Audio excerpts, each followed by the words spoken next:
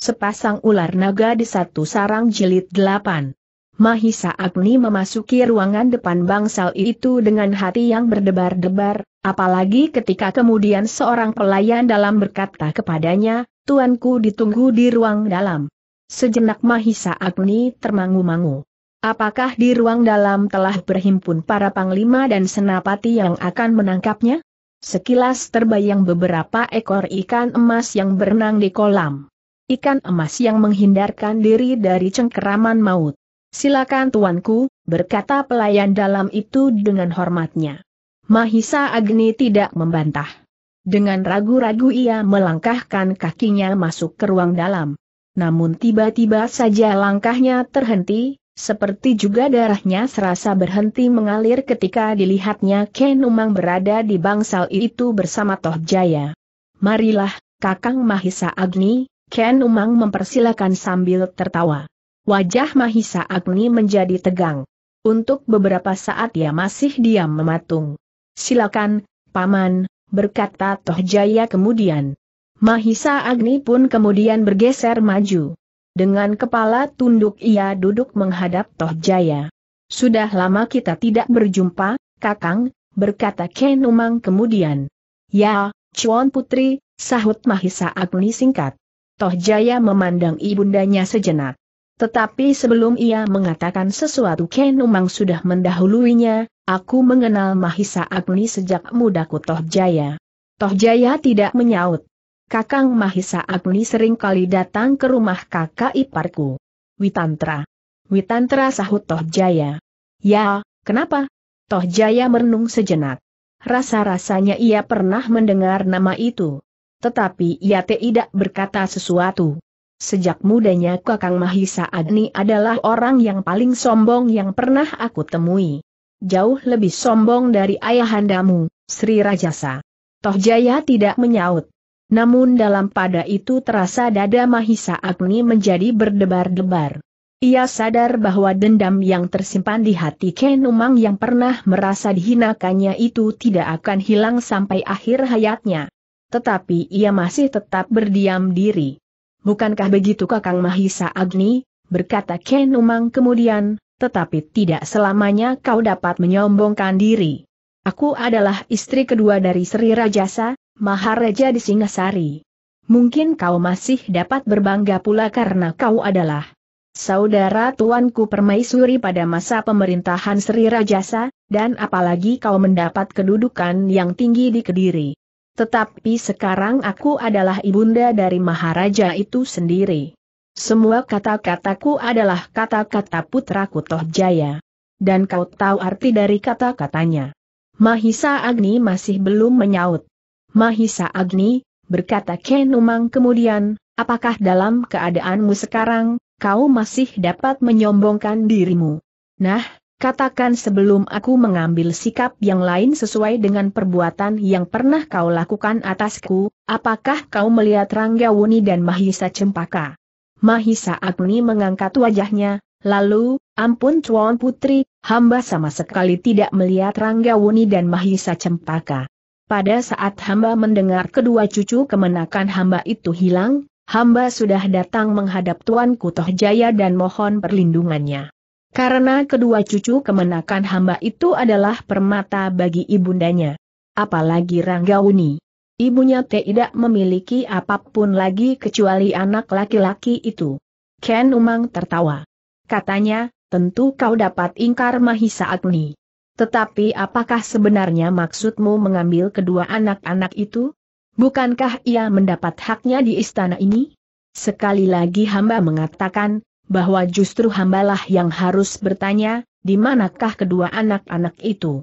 Mahisa Agni, berkata Ken Umang, kau tahu bahwa di sini ada Toh Jaya yang kini memegang kekuasaan. Dan aku adalah ibundanya. Ketahuilah Mahisa Agni, bahwa sebenarnya aku dapat menjatuhkan hukuman apa pun terhadapmu karena penghinaan yang pernah kau lemparkan kepadaku saat itu, Seolah-olah aku adalah perempuan yang tidak berharga. Tetapi semuanya itu tergantung atas pengakuanmu. Jika kau tidak mau menunjukkan di mana Ranggawuni dan Mahisa Cempaka kau sembunyikan, maka aku dapat menjatuhkan hukuman yang paling berat atasmu. Tidak ada orang yang dapat mencegahnya. Kekuasaan putraku adalah mutlak. Kau tidak akan dapat membanggakan pengikut-pengikutmu yang ada di Kediri, karena tidak semuanya dapat kau kuasai. Mahisa Agni menarik nafas dalam-dalam. Memang Ken Umang memiliki kelebihan dari Candides. Candides adalah seorang istri yang baik dan seorang ibu yang baik. Tetapi kadang-kadang memang diperlukan seorang perempuan yang ingin mengetahui banyak hal dari keadaan di sekitarnya. Meskipun Candides kadang-kadang juga berbincang dengan Sri Rajasa pada masa hidupnya, namun Candides tidak terlampau banyak ingin mengerti dan bahkan kemudian menentukan sikap atas pemerintahan di Singasari.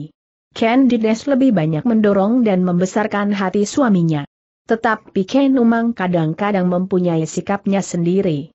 Bukan saja karena kini ia ikut berkuasa bersama anak laki-lakinya, tetapi sejak masa pemerintahan Sri Rajasa, Ken Umang memang banyak menunjukkan sikapnya. Namun agaknya perempuan yang demikianlah yang menarik hati Sri Rajasa. Perempuan yang memiliki gairah yang menyala-nyala. Kenapa kau diam saja Mahisa Agni berkata Ken Umang, apakah kau telah terlempar ke dalam sikap masa bodoh? Seharusnya kau tetap pada sikapmu sebagai seorang kesatria yang berani bertanggung jawab. Nah, katakan. Di mana Ranggawuni dan Mahisa Cempaka supaya aku tidak melipat gandakan hukuman yang dapat aku jatuhkan atasmu. Mungkin aku akan dapat memaafkanmu, asal kau dapat menunjukkan kedua anak-anak itu. Mahisa Agni masih tetap berdiam diri sambil menundukkan kepalanya. Mahisa Agni, suara Ken Umang meninggi, apakah aku harus memaksamu berbicara? Chuan Putri, berkata Mahisa Agni kemudian sambil memandang wajah Toh Jaya sejenak, hamba sudah mengatakan bahwa hamba tidak tahu. Justru hamba mohon perlindungan kepada Tuanku Toh Jaya. Jangan memperbodoh kami bentak Ken Umang, orang-orangmu yang ada di bangsalmu itu berbuat aneh-aneh pada malam hari itu juga. Apakah kau masih akan ingkar? Hamba tidak mengerti Tuan Putri. Chuan Putri jangan memaksa hamba mengatakan yang hamba tidak mengetahui. Hamba memang dapat menyebut nama-nama tempat. Tetapi tentu saja tidak ada hubungannya dengan Rangga Wuni dan Mahisa Cempaka. Ken Umang menjadi semakin marah. Dengan lantang ia berkata, Toh Jaya, Mahisa Agni masih tetap sombong seperti dahulu. Jika ia tetap keras tidak mau mengatakan apa pun juga, maka jangan kau anggap ia seorang yang memiliki hak lebih banyak dari orang lain. Jika ia kau anggap bersalah tentu kau dapat menghukumnya. Toh Jaya justru menjadi bingung mendengar kata-kata ibunya. Namun agaknya ia pun terpengaruh juga. Apalagi ketika ibunya berkata lebih lanjut, kau jangan silau memandang pengaruhnya yang sebenarnya tidak begitu besar. Apalagi ia sekarang berada di sini. Kau dapat memanggil para senapati yang ada di luar.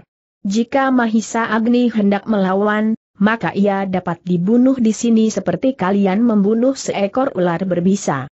Ken Umang memang sangat berpengaruh atas putranya. Karena itu Toh Jaya mulai mempertimbangkan pendapat ibunya. Baginya, dugaan bahwa Mahisa Agni tahu benar ke mana perginya Ranggawuni dan Mahisa Cempaka, agaknya perlu mendapat perhatian yang besar. Toh Jaya, kenapa kau menjadi termangu-mangu? Kau dapat memaksanya berbicara. Toh Jaya masih juga ragu-ragu. Ia masih saja teringat kepada lembu ampal. Jika ternyata lembu ampal yang membawa Ranggawuni dan Mahisa Cempaka, maka akan timbul keributan tanpa arti, katanya di dalam hati. Sehingga dengan demikian Toh Jaya masih belum dapat mengambil keputusan. Tetapi sudah barang tentu bahwa ia tidak akan dapat mengatakannya langsung di hadapan Mahisa Agni. Dalam keragu-raguan itu Toh Jaya masih mendengar ibunya berkata, Toh Jaya, kau tidak usah mempertimbangkan lagi, meskipun Mahisa Agni adalah saudara ibundamu Candides. Candides kini bukan permaisuri lagi hidupnya tergantung pada belas kasihanmu. Jika Candides saja tergantung pada kebesaran jiwamu, apalagi orang yang bernama Mahisa Agni ini. anak pedesaan yang tidak tahu peruntungan nasibnya, yang justru kini berusaha mengacaukan pemerintahanmu dengan menyembunyikan Ranggawuni dan Mahisa Cempaka. Apakah arti anak Panawijen ini bagimu sekarang? Betapapun Mahisa Agni mencoba menahan hatinya, namun terasa darahnya bagaikan mendidih. Ia sadar, bahwa ia telah masuk ke dalam perangkap. Mahisa Agni itu sadar sepenuhnya bahwa kini di sekitar bangsal itu telah siap sepasukan prajurit Singasari terpilih. Para panglima dan senapati. Sekilas Mahisa Agni teringat kepada para pengawalnya yang sudah siap pula mempertaruhkan jiwanya. Jika terjadi sesuatu, maka mereka tentu akan bergerak pula adalah tidak mustahil baginya berusaha untuk melarikan diri dari tangkapan para prajurit Singasari bersama para pengawalnya. Namun yang selalu memberati hatinya adalah akibat yang timbul kemudian. Jika benar terjadi benturan senjata, maka Singasari akan benar-benar menjadi koyak. Tetapi Mahisa Agni pun tidak dapat dengan sukarela menyerahkan lehernya sendiri. Jika ia yakin bahwa dengan kematiannya Singasari akan menjadi tenteram dan damai, maka Mahisa Agni sama sekali tidak akan mengelak. Tetapi dalam kekuasaan Toh Jaya dan ibundanya Ken Umang, keadaannya tentu akan terjadi sebaliknya. Karena itu, untuk sementara Mahisa Agni memutuskan, jika terjadi tindakan kekerasan atas dirinya, maka ia harus berusaha menghindar, apa pun cara yang dapat dipergunakannya. Dalam pada itu, karena Toh Jaya masih juga ragu-ragu, Ken Umang berkata, kenapa kau masih belum bertindak apa pun juga? Toh Jaya? Bukankah kau tinggal memanggil para senapati? Cepat! Sebelum orang yang sombong ini berusaha melakukan pengkhianatan yang lebih banyak lagi. Seandainya Mahisa Agni ternyata tidak menyembunyikan Ranggawuni dan Mahisa Cempaka pun, kau tidak akan kehilangan apa pun juga karena kematian anak Panawijin ini, yang tentu akan segera disusul oleh adiknya Candides yang sudah sakit-sakitan itu. Dada Mahisa Agni rasa-rasanya akan meledak mendengar hinaan yang tiada henti-hentinya itu. Betapapun dia menahan hati, namun akhirnya terpercik jugalah kemarahan yang ditahankannya itu. Ia tidak dapat menerima hinaan terus-menerus tanpa membela diri, karena ia masih juga mempunyai telinga dan hati. Ampun Tuan Putri, berkata Mahisa Agni kemudian, sebenarnya lah yang Tuan Putri katakan itu benar semata-mata. Tetapi sudah barang tentu bahwa hamba sama sekali tidak bermaksud menyombongkan diri. Apa yang pernah hamba lakukan justru karena hamba merasa diri hamba terlampau kecil. Juga saat ini hamba tidak akan berani berbuat apa-apa selain mohon perlindungan Tuan Kutoh Jaya. Bohong. Kau pernah menyakiti hatiku, bentak Ken Umang, dan dendam itu masih tetap membara sampai sekarang. Tak ada jalan lain bagi Mahisa Agni selain mempertahankan diri meskipun ia masih mencari jalan yang lebih baik dari kekerasan. Katanya, Chuan Putri, bagaimana, mungkin hamba dapat menyakiti hati Tuan Putri. Jika sekiranya demikian, kenapa Tuan Putri tidak mengambil tindakan apa pun juga saat itu? Pertanyaan itu membuat hati Ken Umang tergetar. Namun ia masih menyahut, sikap sombongmu itulah yang menyakiti hatiku karena kau merasa dirimu keluarga terdekat dari Candidas yang kini terpaksa berlindung di bawah kebaikan hati anakku. Sakit di hati Mahisa Agni menjadi semakin pedih, sehingga terloncat dari bibirnya, apakah benar demikian? Wajah Ken Umang menjadi semakin merah, dan bibirnya bergetar menahan marah. Ternyata kesombongan Mahisa Agni masih juga terasa olehnya sampai di hari tua. Mahisa Agni, berkata Ken Umang, kau sekarang tidak akan dapat menyombongkan dirimu lagi. Jika kemarahan hatiku tidak terkendali, maka akibatnya akan menyentuh adikmu yang pernah menjadi seorang permaisuri di Singasari. Jika putraku mengibaskan perlindungan atasnya, maka ia akan mengalami nasib seburuk suaminya dan anak laki-lakinya. Itu lebih baik Tuan Putri, dengan lantang Mahisa Agni menyahut, ia memang sudah semakin tua. Tetapi ia tetap seorang perempuan yang bersih dari noda-noda yang memercik dari nafsu dan ketamakan. Agni, Apakah maksudmu bentak Ken Umang dengan membelalakan matanya? Ternyata Mahisa Agni tidak dapat menahan diri lagi. Maka meluncurlah kata-katanya, Ken Dides tidak pernah melakukan perbuatan nista. Ia diambil oleh Aku Tunggul Ametung dengan paksa. Dan ia kemudian diperistri oleh Sri Rajasa sepeninggal Aku Tunggul Ametung. Candides tidak pernah dengan sengaja menawarkan dirinya, apalagi menjebaknya di tengah-tengah hutan perburuan. Di daerah jelajah binatang-binatang liar. Mahisa Agni Ken Umang hampir berteriak. Tetapi suara Mahisa Agni yang hampir tidak tertahankan itu pun mengatasinya, Chuan Putri. Hamba tidak akan dapat menutup mata bahwa hal itu telah terjadi di hutan perburuan pada saat Sri Rajasa berburu bersama beberapa orang pengawal. Meskipun tidak ada orang yang melihat apa yang telah terjadi, tetapi yang telah terjadi itu telah tercium oleh beberapa orang pengawal. Dan bukankah Sri Rajasa sendiri bukannya orang yang dapat menyembunyikan perasaannya terhadap seorang perempuan?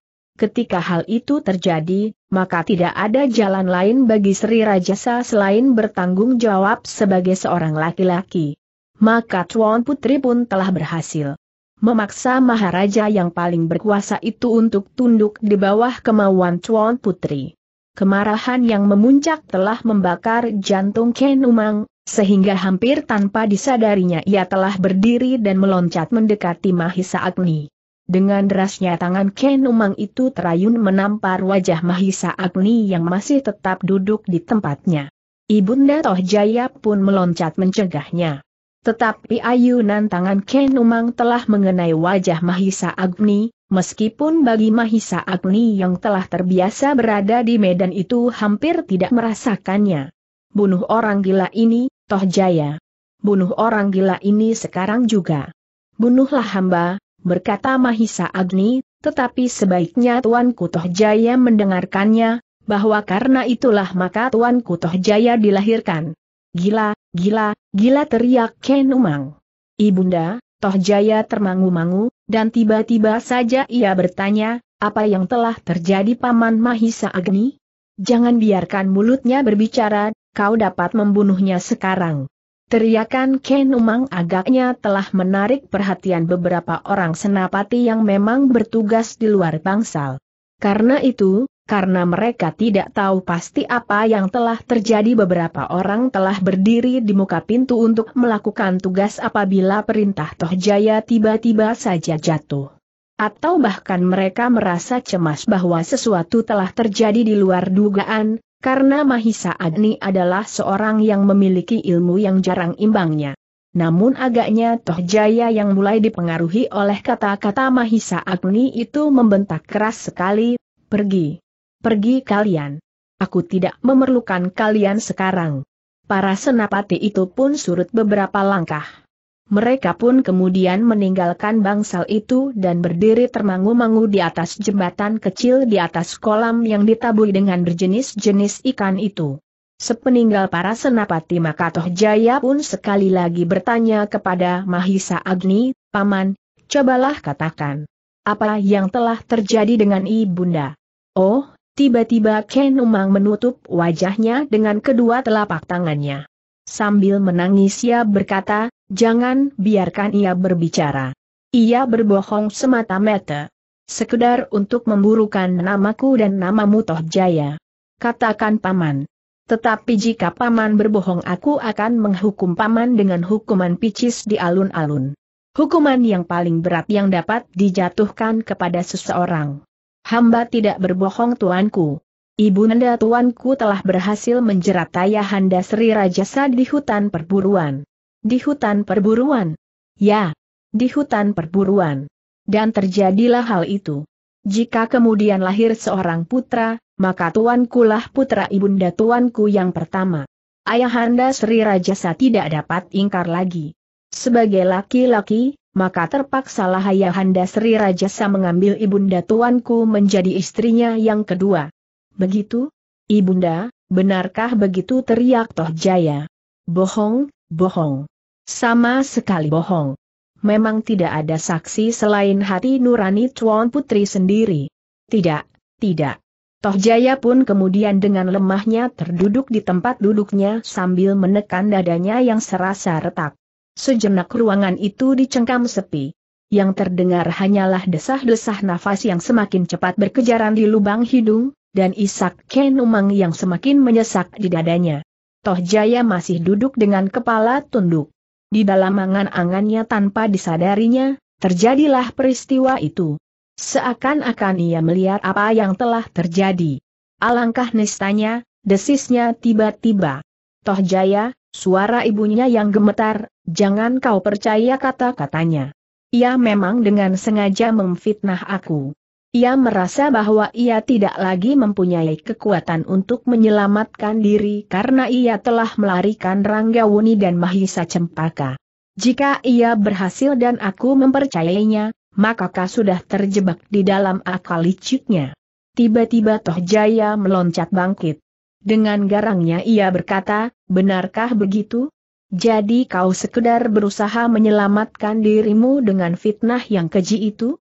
Tuanku Toh Jaya, sahut Mahisa Agni, seandainya tuanku Sri Rajasa masih hidup, maka tentu ia akan mengiyakannya. Tentu ia akan mengatakan bahwa semuanya itu memang sudah terjadi. Seandainya Ibunda Tuanku tetap pada kata-katanya maka aku dapat menyebut rahasia yang lebih banyak lagi yang menyangkut Ibunda Tuanku. Bohong teriak Ken Umang. Hamba tidak berbohong Tuanku. Dan Tuanku dapat bertanya kepada orang yang bernama Witantra itu. Ia adalah saudara ipar Ibunda Tuanku. Tidak ada orang bernama Witantra Ken Umang masih berteriak. Ibunda telah menyebut namanya, sahut Toh Jaya. Ken Umang terdiam.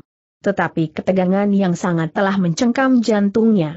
Karena itu maka ia masih saja berteriak, bunuh saja orang itu. Bunuh saja sekarang. Toh Jaya masih berdiri termangu-mangu. Sekali lagi membayang saat-saat dari permulaan hidupnya. Mahisa Agni memandang keduanya berganti-ganti. Tetapi ia tidak mau kehilangan kesempatan. Karena itu maka katanya kemudian, Tuanku Toh Jaya. Sebaiknya Tuanku tidak usah menyesalinya. Bagaimanapun juga yang terjadi, tetapi Tuan Putri Kenumang adalah ibunda Tuanku. Terdengar Toh Jaya menggeretakkan giginya. Dan Mahisa Agni berkata seterusnya, Tuanku pun tidak usah menyesali. Justru karena Tuanku tahu betapa seorang manusia telah lahir dari kenistaan namun adalah suatu kenyataan bahwa tuanku kini adalah seorang maharaja. Seperti juga setiap orang mengetahui siapakah Anusapati, maka sebenarnya setiap orang pun akhirnya mengetahui, bagaimana tuanku dapat terjadi. Toh Jaya hampir kehilangan seluruh tenaganya ketika Mahisa Agni melanjutkan, namun bagaimanapun juga, tuanku masih lebih baik dari Anusapati. Anusapati adalah bukan putra Sri Rajasa.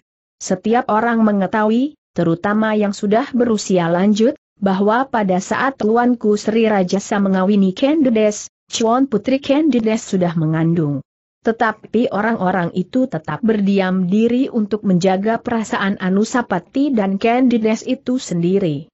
Kemudian, seperti halnya Candides, maka setiap orang pun tahu meskipun mula-mula bersumber dari kalangan istana sendiri, dari orang-orang yang dekat dengan Sri Rajasa yang saat itu masih sangat muda dan berbangga diri atas peristiwa yang telah terjadi, bahwa demikianlah adanya. Tetapi Toh Jaya seolah-olah telah tidak mendengar lagi. Kepalanya yang tunduk menjadi semakin tunduk, sedang keringat dingin telah membasahi seluruh tubuhnya. Ia yang kini duduk di atas tahta Singasari, ternyata adalah anak yang lahir dari perbuatan. Nista ibondanya, justru di hutan perburuan seperti perbuatan sepasang kijang yang tidak mengenal peradaban. Maaf tuanku, berkata Mahisa Agni pula, bukan maksud hamba melukai hati, tuanku.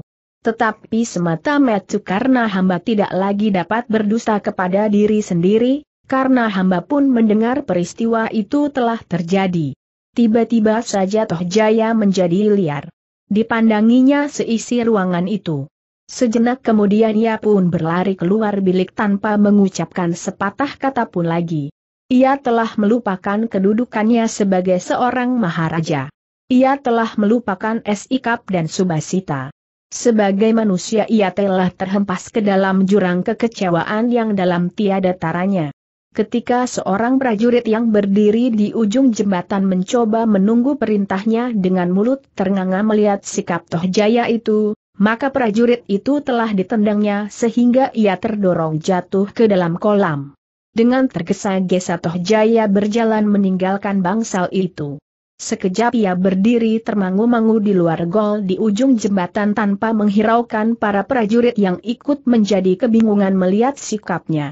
Tuanku pemimpin prajurit yang bertugas di regol itu mencoba bertanya. Tetapi sebuah pukulan telah melayang menampar pipinya sehingga pemimpin prajurit itu mengaduh tertahan. Sementara itu Toh Jaya pun kemudian berjalan dengan tergesa-gesa meninggalkan bangsal itu menuju ke bangsalnya sendiri sebelum ia tinggal di bangsal yang dikitari oleh kolam yang dibuat oleh Anusapati itu. Dua orang pengawalnya berlari-lari menyusulnya. Tetapi keduanya pun tidak berani bertanya sepatah kata pun selain mengikutinya sambil berlari-lari kecil. Sementara itu, di dalam bangsal di tengah-tengah kolam itu, Ken Umang menangis sambil menutup wajahnya, sedang Mahisa Agni duduk termangu-mangu di tempatnya. Kau gila terdengar suara Ken Umang di sela-sela isaknya, kau telah membalas sakit hatimu dengan cara yang keji sekali.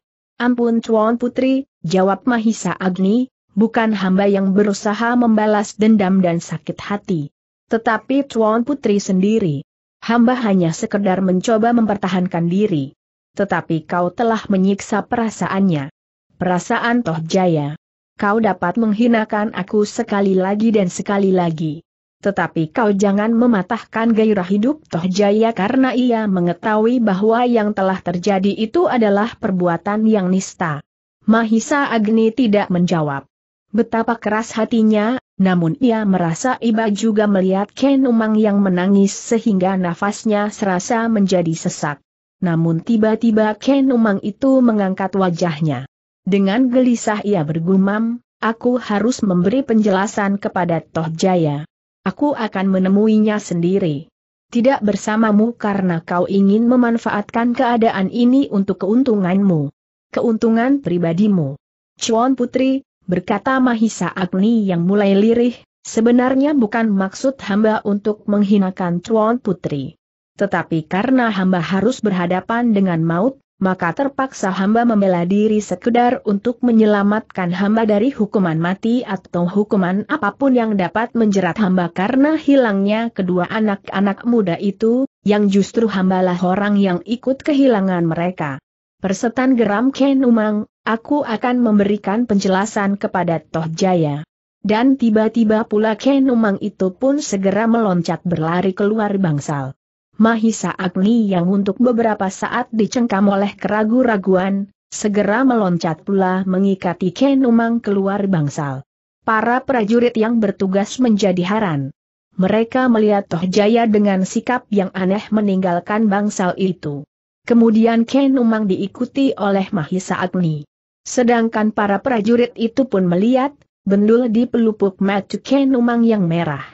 Apakah Tuan Kutoh Jaya telah berselisih dengan Tuan Putri salah seorang dari para prajurit itu bergumam? Tidak seorang pun yang tahu. Kami hanya mendengar lamat-lamat Tuan Putri berteriak-teriak. Tetapi kami tidak mendengarnya dengan jelas. Tetapi hal itu memang mungkin sekali terjadi. Tetapi apakah yang mereka persoalkan bodoh kau, tentu aku tidak mengetahuinya. Prajurit itu pun kemudian berdiam diri sejenak. Mereka memandang Ken Umang yang berlari-lari kecil sampai hilang di longkangan dalam. Dalam pada itu, sejenak Mahisa Agni mengikutinya dari belakang ke mana Ken Umang pergi. Namun ia pun kemudian terhenti dan berjalan kembali ke bangsalnya sendiri. Di sepanjang langkahnya Mahisa Agni masih saja mencoba menilai persoalan yang baru saja terjadi. Agaknya Toh Jaya benar-benar tersinggung karena peristiwa yang telah terjadi di hutan perburuan, justru yang kemudian mengakibatkan Toh Jaya itu lahir di dunia. Agaknya Toh Jaya tidak mau menerima kenyataan itu. Kenyataan yang nista dan tidak pernah dibayangkannya. Namun Toh Jaya tidak dapat menolak pengakuan bahwa hal itu memang telah terjadi. Menurut sorot metu dan warna wajah ibunya, Toh Jaya mempunyai keyakinan bahwa yang dikatakan oleh Mahisa Agni itu bukan berbohong. Terlebih parah lagi apabila terbayang di angan-angan Toh Jaya bahwa sebenarnya orang di seluruh Singasari sudah mengetahui apa yang telah terjadi atas ibunya. Tentu ayahanda yang waktu itu masih muda, telah bercerita kepada orang terdekat. Bahkan mungkin justru sebagai kebanggaan atas kehinaan ibunda, berkata Toh Jaya di dalam hati, dan kini setiap orang akan mempercakapkannya kembali. Mereka akan dapat bersikap lebih kasar lagi di bawah perintah Toh Jaya ini. Bahkan mungkin bukan sekedar mempercakapkan, tetapi tentu ada yang berani merendahkan martabatnya sebagai seorang maharaja di Singasari dan berita itu akan segera tersebar. Tersebar sampai ke ujung negeri ini. Toh Jaya menutup wajahnya. Selagi Toh Jaya tenggelam di dalam kecemasan, malu dan bingung, ibunya perlahan-lahan mendekatinya. Dengan nada yang dalam diselubungi isaknya yang tertahan ia berkata, Toh Jaya, cobalah kau dengarkan penjelasanku. Toh Jaya mengangkat wajahnya. Namun kemudian ia melangkah menjauhi ibunya sambil berkata, Ibunda, ternyata Ibunda telah menghinakan diri sendiri dan keturunan Ibunda. Apalagi kini aku menjadi pusat perhatian seluruh rakyat Singasari. Dan apakah kata mereka tentang aku, jika cerita itu kemudian tersebar? Ada jalan yang dapat kau tempuh, berkata ibundanya. Apa? Membungkam Mahisa Agni untuk selama-lamanya. Toh Jaya terdiam sejenak. Dipandanginya bayangan yang bergerak-gerak di kejauhan.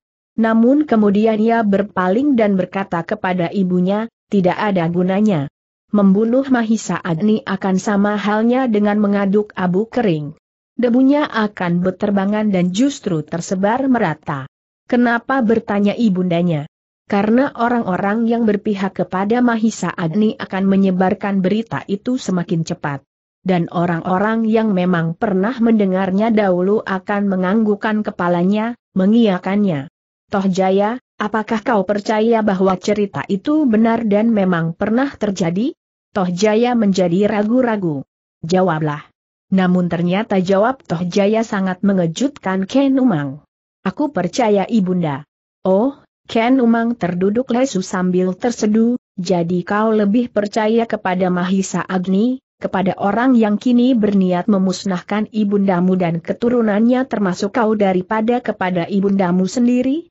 Ibunda, bertanya Toh Jaya, jika demikian, apakah sebabnya ibunda mendendamnya? Apakah alasan ibunda menyimpan dendam sampai sekarang dan bahkan berusaha membunuhnya? Menurut pertimbanganku, Mahisa Agni tentu mengetahui sesuatu rahasia ibunda yang paling besar. Cukup Toh Jaya. Cukup. Kenapa Ibunda desak Toh Jaya, jika Mahisa Agni Ibunda sebut sebagai orang yang paling menyombongkan diri, apa pula alasannya? Jangan kau ulang pertanyaan itu Toh Jaya, jangan. Toh Jaya terdiam. Tetapi ia menjadi semakin yakin bahwa apa yang dikatakan Mahisa Agni itu benar, atau setidak-tidaknya sebagian terbesar adalah benar. Toh Jaya, Apakah kau benar-benar tidak mempunyai kepercayaan lagi kepadaku? Ibunda, siapakah sebenarnya Witantra itu? Witantra adalah kakak iparku, di mana ia sekarang? Tidak ada orang yang tahu. Apakah benar ia berada di Kediri seperti yang pernah disebut-sebut oleh Panglima pelayan dalam yang aku tugaskan ke Kediri untuk memanggil Mahisa Agni? Tentu bukan. Witantra sudah lama hilang barangkali ia sudah mati. Aku akan memanggil panglima pelayan dalam itu. Ia akan dapat bercerita tentang orang yang bernama Witantra itu. Tidak perlu, itu tidak perlu. Kenapa tidak ibunda? Ia akan dapat banyak bercerita tentang orang yang bernama Witantra. Yang menurut pendengarannya adalah bekas seorang panglima di masa pemerintahan Aku Tunggul Ametung di TU Mapel. Tidak, jangan. Ibunda, jika orang itulah yang dimaksud, kebetulan sekali. Dengan demikian ibunda akan dapat bertemu dengan kakak perempuan ibunda, dan sudah tentu aku akan memanggilnya bibi. Tidak. Itu tidak perlu. Nah, Suara Toh Jaya tiba-tiba menjadi berat, itu adalah pertanda bahwa kehidupan ibunda memang dibayangi oleh rahasia yang dengan sengaja akan ibunda sembunyikan. Tetapi rahasia itu sebagian tentu apa yang dikatakan oleh Mahisa Agni. Oh, Ken Umang menangis semakin keras. Beberapa orang emban mengintip dari balik pintu yang tidak tertutup rapat. Namun mereka pun segera pergi karena mereka menjadi ketakutan. Jika mereka mendengar rahasia Maharaja, atau diduga mendengarnya, maka mereka akan dapat dihukum mati tanpa sebab. Ibunda, berkata Toh Jaya dengan nada yang meninggi, jika demikian, rahasia yang menyelubungi ibunda ternyata sebuah rahasia yang besar. Dan angan-anganku pun menjadi berkembang karenanya. Jika ibunda telah memasrahkan harga diri, dan bahkan tubuh ibunda untuk sekedar mengejar keinginan lahiriah, maka ibunda tentu pernah melakukan kecemaran yang serupa. Tidak, tidak. Demi dewa-dewa aku bersumpah, teriak Ken Umang. Toh Jaya menarik nafas dalam-dalam. Samaria mulai membayangkan apa yang pernah terjadi atas dirinya. Apa yang dilakukan ibundanya selama ini. Ibu nandanya yang telah mendorongnya untuk melakukan apa saja agar ia sampai pada puncak tertinggi dari seluruh kekuasaan yang ada di Singasari. Sejak kecil ibundanya sudah mengajarinya membenci Anusapati yang kemudian disebut sebagai anak tunggul Ametung. Kemudian berusaha mendesaknya dan menyingkirkannya. Kebencian kepada Anusapati dan adik-adiknya yang lahir dari Candides telah mendorongnya sampai ke puncaknya dengan segala macam usaha untuk membunuh Anusapati. Tetapi Anusapati telah membunuh Sri Rajasa, Toh Jaya mencoba membela sikapnya sendiri di dalam hatinya. Namun kemudian ia terlempar pada suatu kenyataan, bahwa ibunya lah yang telah membentuknya menjadi seorang manusia yang dicengkam oleh kebencian, dendam dan permusuhan. Toh Jaya menggigit bibirnya. Terasa dadanya menjadi sesak oleh kegelisahan. Ken Umang masih saja menangis tertahan-tahan. Penyesalan yang dalam, bukan karena ia telah melakukan sesuatu yang hina, tetapi ia telah memberi kesempatan kepada Mahisa Agni untuk membuka rahasia itu. Dan karena Toh Jaya yang ternyata tidak mau menerima kenyataan itu dengan senang hati. Terkutuklah Mahisa Agni berkata Ken Umang di dalam hatinya, ia harus mati. Jika tidak ia tentu akan membuka rahasiaku yang lain, bahwa aku telah mencoba untuk membujuknya. Bahkan setelah aku sudah menjadi istri Sri Rajasa. Ken Umang terperanjat ketika ia kemudian mendengar Toh Jaya berkata, Ibunda, tinggalkan aku sendiri.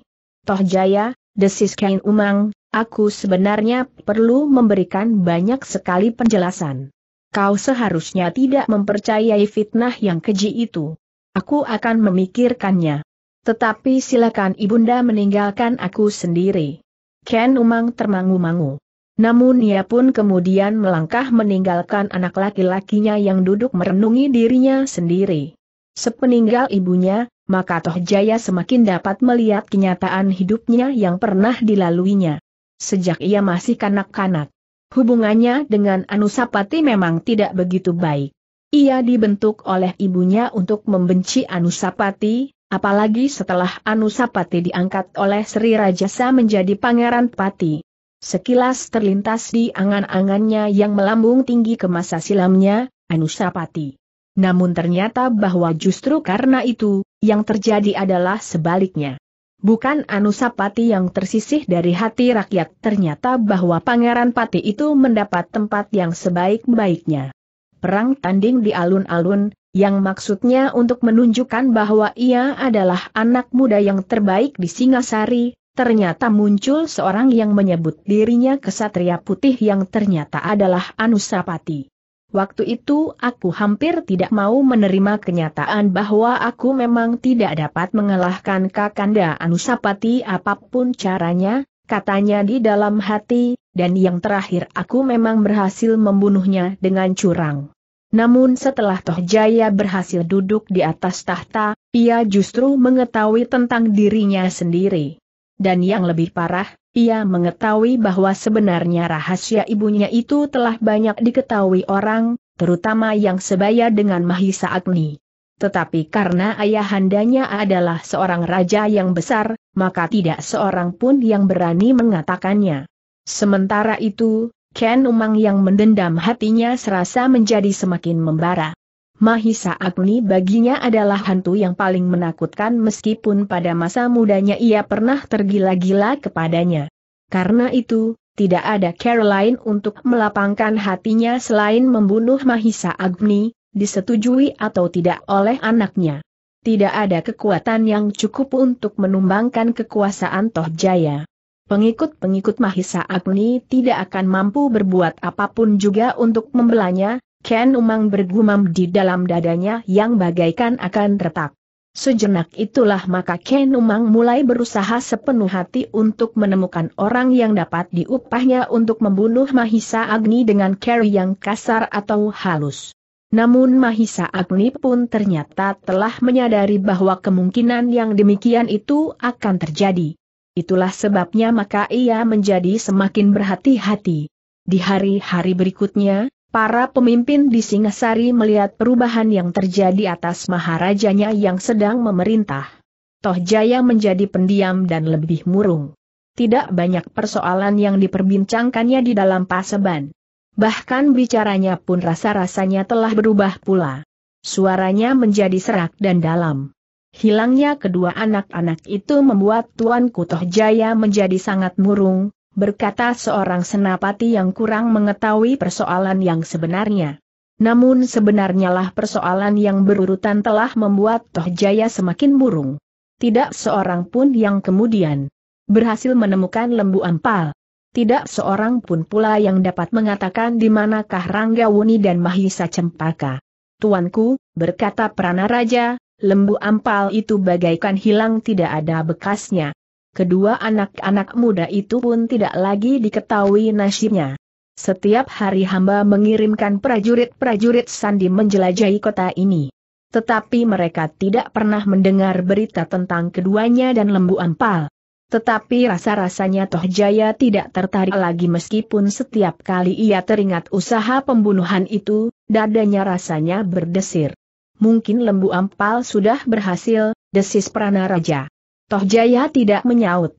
Dan Prana Raja berkata seterusnya, jika demikian, tidak akan ada orang lagi yang akan dapat merintangi kekuasaan tuanku. Tetapi di dalam hatinya Prana Raja berkata kepada diri sendiri, jika lembu ampal berhasil, ia tentu akan segera kembali untuk menerima hadiahnya. Tetapi Prana Raja tidak mengatakannya. Ia masih belum tahu pasti, apakah sebenarnya yang sedang mempengaruhi sikapnya. Kemurungan Toh Jaya memang menimbulkan banyak pertanyaan di hati para pemimpin di Singasari namun tidak seorang pun yang dapat menebak arti dari kemurungan wajah ini selain Toh Jaya sendiri dan ibundanya. Dalam pada itu Ken Umang masih saja memikirkan care untuk dapat menyingkirkan Mahisa Agni. Sebenarnya Ken Umang sendiri sangsi, apakah dengan demikian rahasianya akan ikut terkubur bersama lenyapnya Mahisa Agni. Apakah Toh Jaya dapat melupakan semua persoalan yang pernah dikatakan oleh Mahisa Agni? Namun demikian dendam yang membara dilihatnya telah mendorongnya untuk melakukannya. Ia tidak peduli apakah lenyapnya Mahisa Agni akan berpengaruh pada Singasari, pada kepercayaan Toh Jaya terhadapnya atau kepada apa pun juga. Ia ingin melepaskan dendam, kemarahan dan kebencian.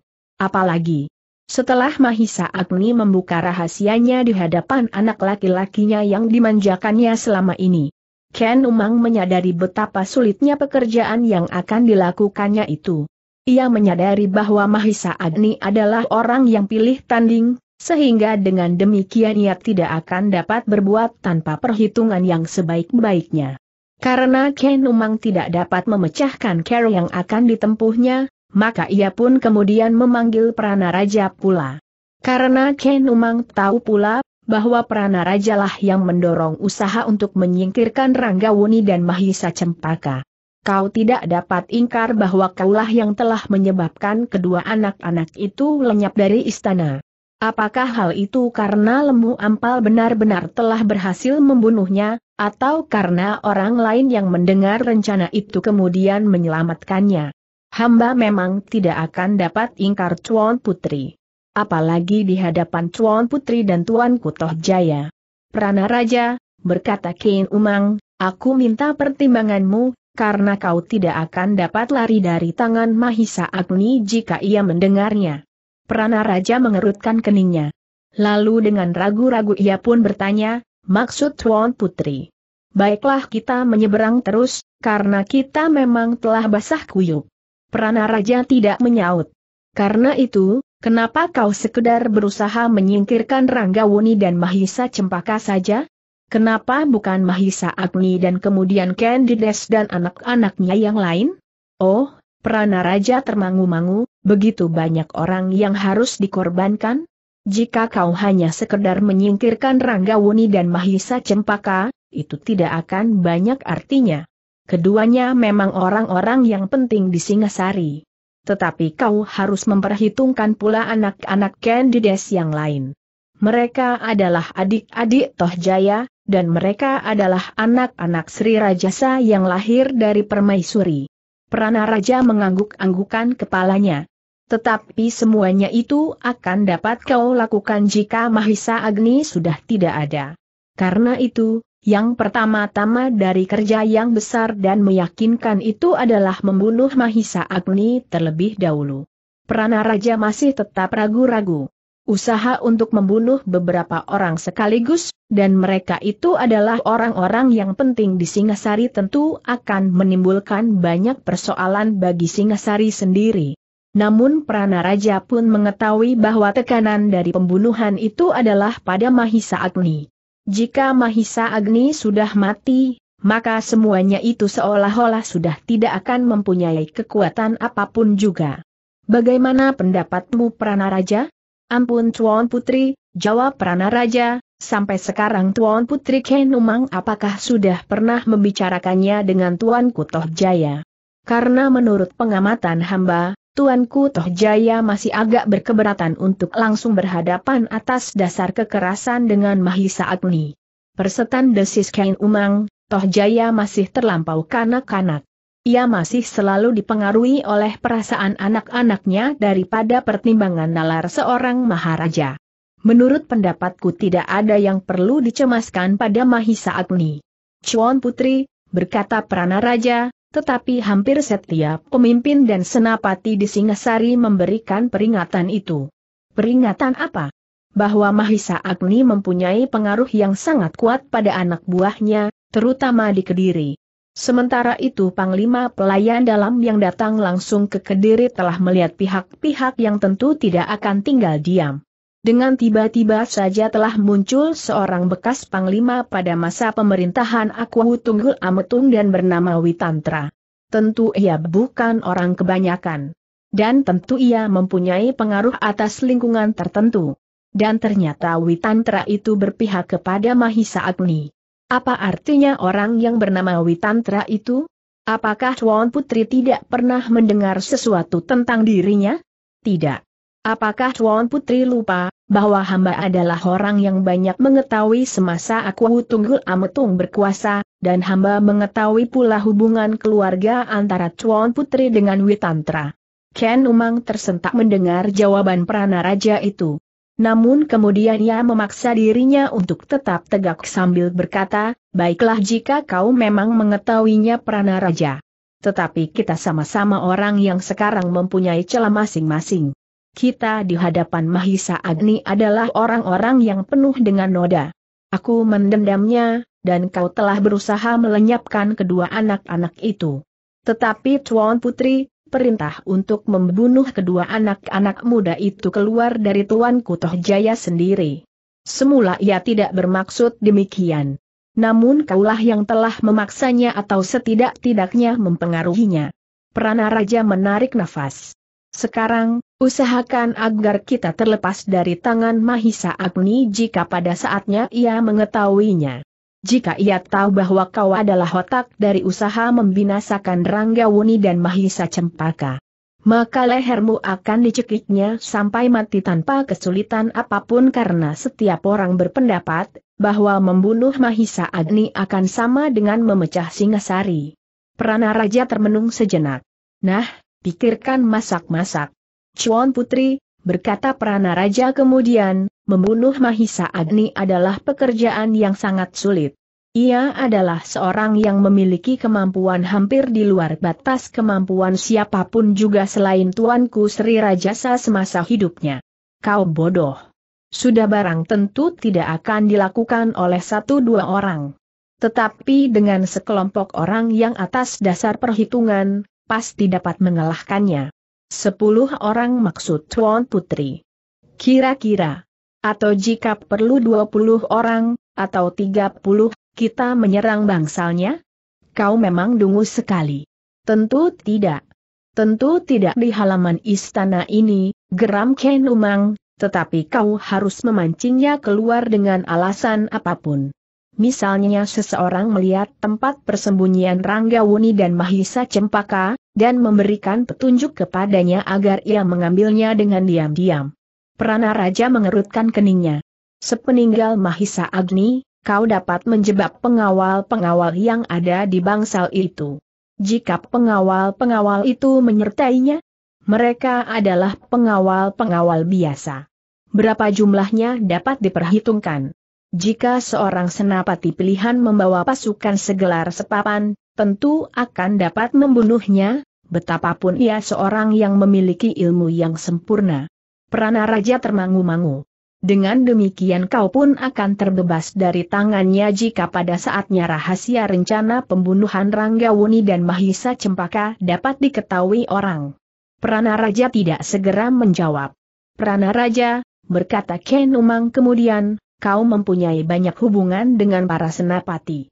Jika sekiranya Toh Jaya tidak menghendaki pembunuhan ini terjadi, kau tidak perlu minta pertimbangannya. Kau dapat menawarkannya kepada seorang senapati dengan pasukan pilihan. Kau dapat menawarkan upah yang tinggi baginya. Aku akan menyediakannya.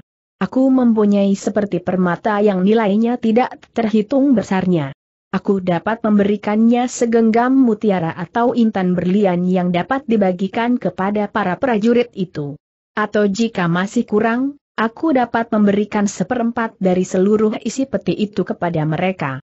Prana Raja mengangguk-angguk kecil. Katanya kemudian, Chuan Putri. Jika demikian hamba akan mencobanya. Hamba akan menghubungi seorang senapati yang pernah menunjukkan keunggulannya bersama pasukannya seperempat peti permata akan menjadi pendorong kepada mereka untuk menerima tawaran Tuan Putri itu. Tetapi hati-hatilah. Kau tentu tidak akan mengatakan bahwa akulah yang telah memerintahkan kepadanya. Maksud Tuan Putri. Jangan menambah orang-orang yang mengetahui rahasia aku. Kau tidak perlu mengatakan siapa yang akan mengupah mereka tetapi kau dapat meyakinkan bahwa upah itu mempunyai jaminan akan terbayar. Dan Tuan Putri akan membayarnya kelak? Kau gila. Jika aku ingkar, kau dapat membuka rahasia ini kepada siapa pun juga. Baiklah Tuan Putri. Hamba akan mencoba mencari jalan, tetapi untuk mendapatkan orang yang berani menanggung akibat perlawanan dengan kekerasan menghadapi Mahisa Agni bukannya pekerjaan yang mudah meskipun sepasukan segelar sepapan. Kau dapat menghubungi salah seorang panglima yang paling membenci Mahisa Agni, atau yang dapat kau libatkan dalam usaha pembunuhan Anusapati. Seperti kau sendiri, maka setiap orang yang terlibat saat kematian Anusapati, mempunyai kemungkinan serupa di hadapan Mahisa Agni. Baiklah Tuan Putri. Mahisa Agni pun sebenarnya adalah seorang manusia biasa. Pada saatnya tentu ada orang yang akan mampu membinasakannya. Tetapi cepat-cepatlah bekerja. Hamba Tuan Putri. Hamba akan segera melakukannya. Ingat, bahwa kau sendiri adalah sasaran dendam Mahisa Agni itu, seperti juga aku, dan orang-orang yang terlibat kematian Anusapati, yang sebenarnya termasuk Toh Jaya sendiri. Jika kau mengingkari persepakatan kita, kau akan dicekiknya sampai mati. Perana Raja tidak dapat bersikap lain. Ia harus memenuhi permintaan Ken Umang. Bahkan sebenarnya lah ia sendiri memang ingin menyingkirkan Mahisa Agni untuk selama-lamanya. Bukan hanya Ranggawuni dan Mahisa Cempaka. Sementara itu, maka Prana Raja pun mulai mencari-cari keterangan, siapakah yang sebaliknya dipergunakannya untuk membunuh Mahisa Agni. Kini ia sudah mendapatkan jaminan untuk mengupah orang itu dari Ken Umang. Upah yang cukup banyak bagi mereka yang berhasil. Seperempat dari isi sebuah peti yang penuh dengan permata. Tetapi Prana Raja tidak dapat berbuat tergesa-gesa. Jika ia salah sasaran, maka persoalannya akan menjadi lain. Dan barangkali ia sendirilah yang akan lebih dahulu dipeluk oleh maut daripada Mahisa Agni. Dalam pada itu, Ranggawuni dan Mahisa Cempaka telah berada di sebuah padepokan terpencil. Padepokan yang dibangun oleh Witantra pada saat ia membuang diri dari pergaulan setelah ia dikalahkan oleh Mahisa Agni di dalam perang tanding. Di padepokan itulah ia kemudian mendapatkan kesempurnaan dari ilmu yang diturunkan oleh gurunya. Di padepokan yang terpencil itulah ia bersama adik seperguruan Mahendra, mencoba mencari-cari dan menyusun kelengkapan dari ilmu yang disadapnya dari gurunya, sehingga keduanya berhasil mencapai tingkat tertinggi dari olah kanuragan. Kini ia tidak tinggal sendiri dan keluarganya saja di padepokan itu, tetapi ia kini bersama dengan dua orang dari Istana Singasari yang memencilkan diri, diiringi oleh beberapa orang prajurit yang mengawalnya. Apakah kalian kerasan tinggal di es ini bertanya Witantra kepada kedua anak-anak muda itu. Tentu paman. Di sini rasa-rasanya kami mendapatkan ketenangan, jawab Ranggawuni. Di sini udaranya sangat sejuk. Dan seakan-akan padepokan ini merupakan daerah yang paling damai dari seluruh wilayah Singasari, sahut Mahisa Cempaka. Witantra tersenyum. Katanya, Mungkin kedamaian dan ketenangan ini pada suatu saat akan segera berubah, jika petugas sandi dari Istana Singasari mencium berita bahwa kalian berdua ada di es ini, maka keadaan akan segera berubah. Karena itu, kalian harus tetap berhati-hati. Jangan bermain-main terlampau jauh, dan ingat, jangan hanya berdua. Jika kalian ingin berjalan-jalan keluar pada pokan ini, kalian harus disertai oleh dua atau tiga orang pengawal. Mungkin kalian tiba-tiba saja bertemu dengan petugas-petugas yang bertebaran di seluruh Singasari untuk mencari kalian. Ranggawuni dan Mahisa Cempaka mengangguk-anggukan kepalanya namun pesan itu rasa-rasanya telah mengusik perasaan. Damai dan tenang selama mereka di padepokan itu. Tetapi mereka pun menyadari bahwa setiap kelengahan akan berakibat bencana. Karena itulah maka setiap hari keduanya selalu berjalan-jalan bersama dua tiga orang pengawal. Apalagi jika mereka keluar dari padepokan dan menyusuri tanah pategalan. Beberapa orang penghuni padepokan ini rasa-rasanya mempunyai sifat dan tabiat yang lain dengan orang-orang Singasari, desis Mahisa Cempaka. Sudah tentu, jawab Ranggawuni, mereka adalah orang-orang yang dengan sengaja memencilkan diri menyerahkan hidup mereka kepada ketenangan dan kedamaian. Mereka tidak ingin berbuat lebih banyak dari yang mereka lakukan. Tetapi mereka dengan demikian merasa dekat dengan penciptanya. Mahisa Cempaka mengerutkan keningnya. Dan Ranggawuni berkata seterusnya, bukankah begitu kata Paman Witantra kepada kita? Mahisa Cempaka tersenyum sambil mengangguk, ya, mereka tidak mempunyai cita-cita yang lain dari ketenteraman hidup kini dan kelak yang abadi. Nah bukankah begitu? Tetapi siapakah mereka sebenarnya Mahisa Cempaka tiba-tiba bertanya, mereka seakan-akan terlempar ke daerah ini dengan diselubungi oleh rahasia yang tidak dapat ditebak. Ranggawuni menggelengkan kepalanya. Katanya, tentu kita tidak tahu. Tapi kita dapat menduga, bahwa mereka terlempar ke daerah ini tanpa kesengajaan mungkin mereka perantau yang jemu melihat kehidupan di tempat-tempat aman. Ketika mereka melintasi daerah yang tenang ini, mereka minta izin untuk tinggal di es ini pula. Atau barangkali sebagian memang datang bersama Paman Witantra. Mungkin pelayannya semasa lampau. Bukankah Paman Witantra itu dahulu seorang panglima dari Tumapel? Mahisa Cempaka menganggukkan kepalanya tetapi keduanya kemudian tidak membicarakan lebih lanjut. Mereka hanya merenungi saja orang-orang yang bekerja dengan tidak banyak terbicara. orang yang nampaknya jarang sekali berhubungan dengan dunia di luar mereka. Wajah mereka selalu bersungguh-sungguh. Namun terbayang ketenangan dan kedamaian di hati mereka. Harapan yang mantap bagi hidup mereka yang abadi kelak. Hidup abadi dalam pelepasan segala macam derita kehidupan fana. Namun dalam pada itu, kedua anak-anak itu tidak hanya sekedar bersembunyi, dan sekali-kali menghirup udara pagi di padepokan yang sepi. Sejak mereka berada di padepokan itu, Witantra sudah mulai memperkenalkan mereka dengan olah kanuragan. Jangan mengganggu ketenangan orang di padepokan ini dengan tingkah yang bagi mereka tentu dianggap aneh, berkata Witantra, sudah beberapa lamanya mereka memusatkan hidup mereka di dalam nafas kedamaian. Rangga Wuni dan Mahisa Cempaka termangu-mangu sejenak. Mereka tidak mengerti maksud Witantra. Meskipun anak-anak itu tidak bertanya, namun agaknya Witantra dapat menangkap perasaan mereka. Karena itu maka katanya, Rangga Wuni dan Mahisa Cempaka. Penduduk padepokan ini yang hanya beberapa keluarga sudah lama sekali tidak melihat kekerasan. Mereka tidak pernah lagi memikirkan kemungkinan seseorang mempergunakan olah kanuragan apalagi olah kanuragan untuk memaksakan kehendaknya atas orang lain.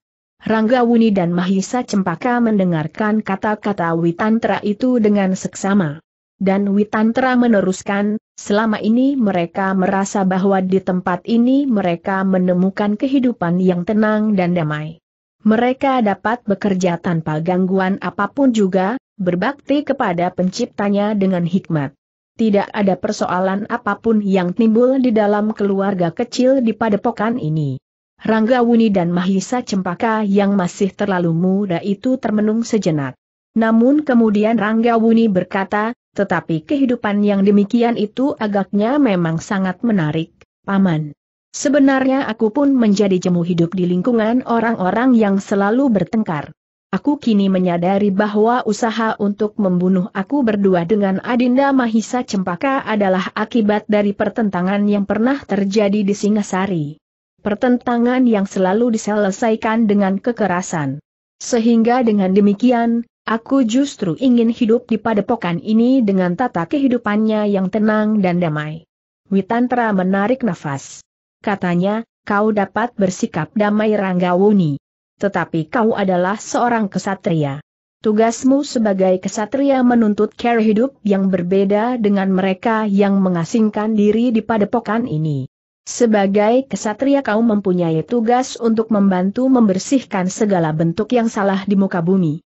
Kau tidak dapat berpangku tangan, menikmati kedamaian hatimu sendiri, sedangkan di bagian lain dari bumi ini orang-orang lain mengalami penindasan dan perlakuan yang tidak adil kau harus bangkit dan berusaha untuk membantu mereka yang diperlakukan tidak adil itu. Kedua anak-anak muda itu menganggukkan kepalanya. Kau berdua masih terlalu muda. Pada saatnya kau berdua akan melihat, bahwa masih banyak tugas yang belum terselesaikan. Dan agaknya di sepanjang zaman, masih saja perlakuan yang tidak adil itu akan terjadi. Dan karena itulah maka kesatria di sepanjang zaman harus selalu berdiri tegak menunaikan tugasnya dengan sebaik-baiknya, sehingga pada suatu saat yang tidak dimengerti, manusia menemukan ketenangan dan kedamaian yang sejati. Tetapi apakah saat itu akan datang? Paman bertanya Mahisa Cempaka. Witantra menarik nafas dalam-dalam. Dipandanginya kedua anak-anak itu sejenak, lalu katanya dengan nada yang dalam, Ranggawuni dan Mahisa Cempaka. Sebagai manusia kita memang mengharap bahwa pada suatu saat kita akan hidup tenang dan damai.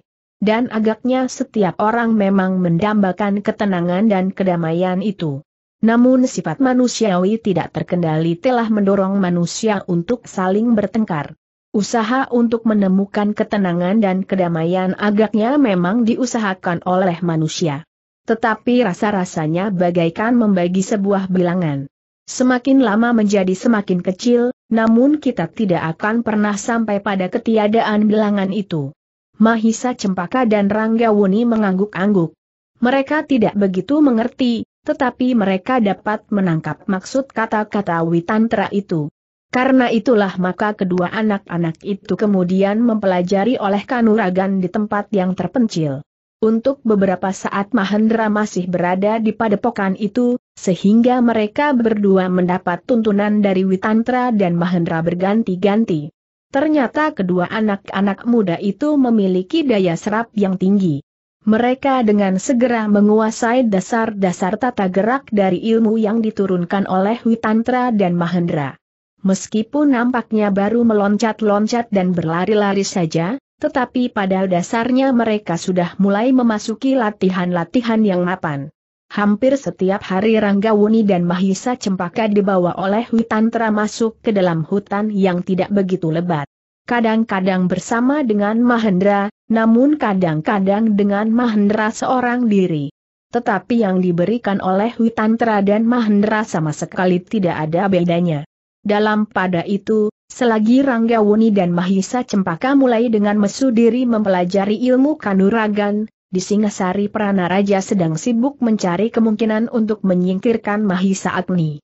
Segala cara yang mungkin dapat ditempuh, telah dicobanya dengan sangat berhati-hati. Pranaraja tidak mau justru terjerumus ke dalam kesulitan. Jika masalahnya diketahui oleh Mahisa Agni, maka tentu ialah yang akan lebih dahulu terbunuh.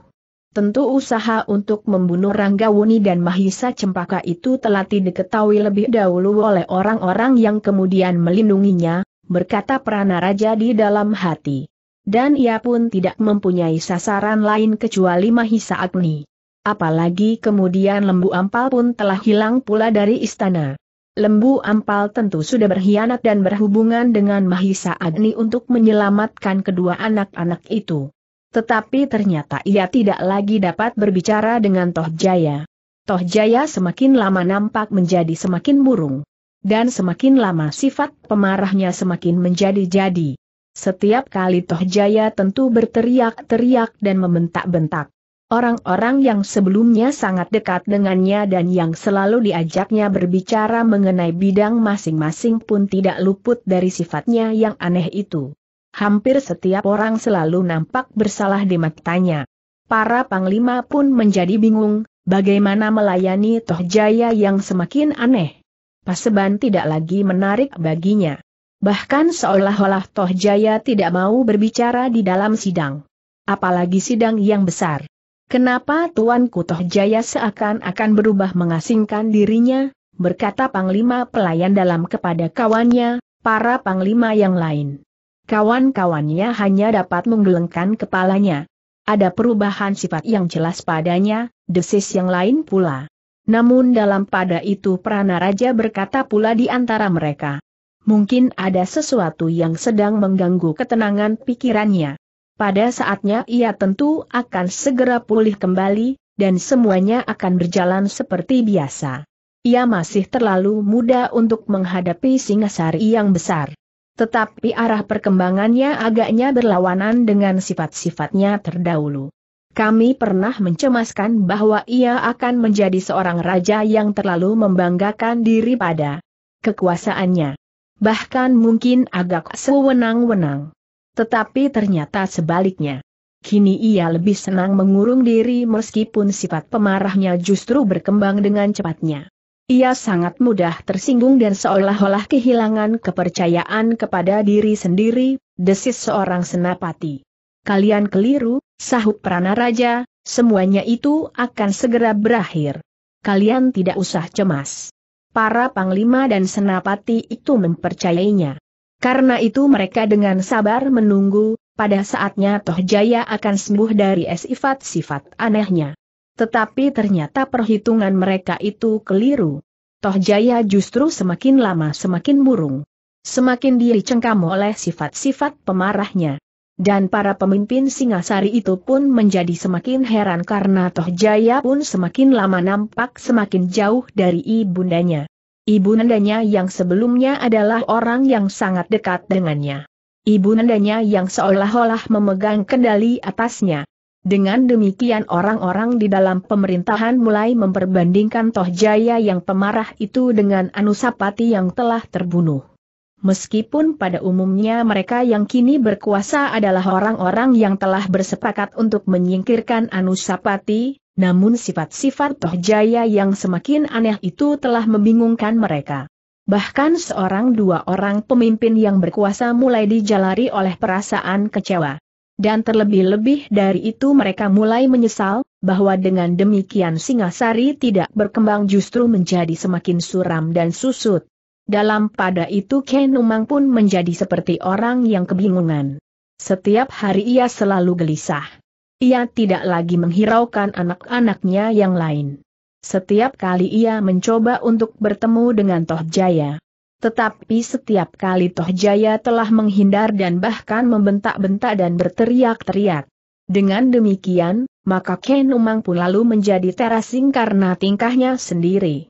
Bahkan ia seolah-olah selalu diserang oleh perasaan malu. Jika Ken Umang bertemu dengan Prana Raja, maka ia pun selalu bertanya, kenapa kau belum berhasil membinasakan Mahisa Agni? Apakah kau menunggu kau sendiri terbunuh? Chuan Putri, jawab Prana Raja, keadaan ini lambat laun telah berubah. Hamba tidak mengerti, apakah sebabnya Tuanku Toh Jaya kini bertabiat aneh. Omong kosong. Anakku tidak apa-apa. Apakah Chuan Putri tidak merasakan perubahan itu? Chuan Putri, Chuan adalah ibundanya. Barangkali Chuan Putri dapat berbuat jauh lebih banyak dari kami semuanya. Barangkali Chuan Putri dapat mengetahui sebabnya, sehingga kami bersama-sama akan dapat berusaha memulihkan kegembiraannya, gairah hidupnya dan terlebih lagi bagi kepentingan Singasari. Ibunda Toh Jaya tidak segera menyaut. Chuan Putri, tolonglah kami. Tolonglah rakyat Singasari yang menjadi bingung dan tidak menentu. Ken Umang masih saja termenung.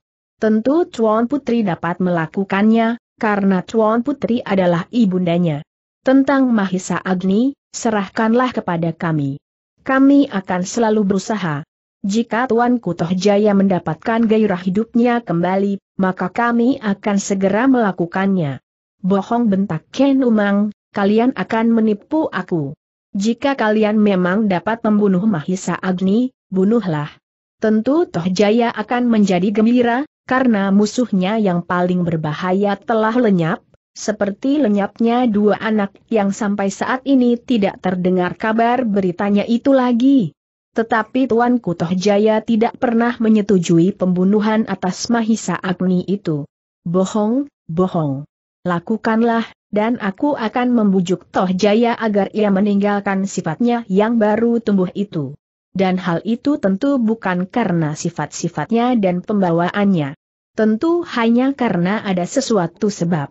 Dan sebab itu adalah Mahisa Agni. Dalam pada itu Prana Raja semakin terdorong ke dalam kesulitan. Toh Jaya sama sekali tidak lagi dapat diketahui kehendaknya dengan pasti sedang usaha untuk membunuh Mahisa Agni seperti yang diperintahkan oleh Ken Umang, kadang-kadang membayanginya seperti hantu yang siap mencekik lehernya.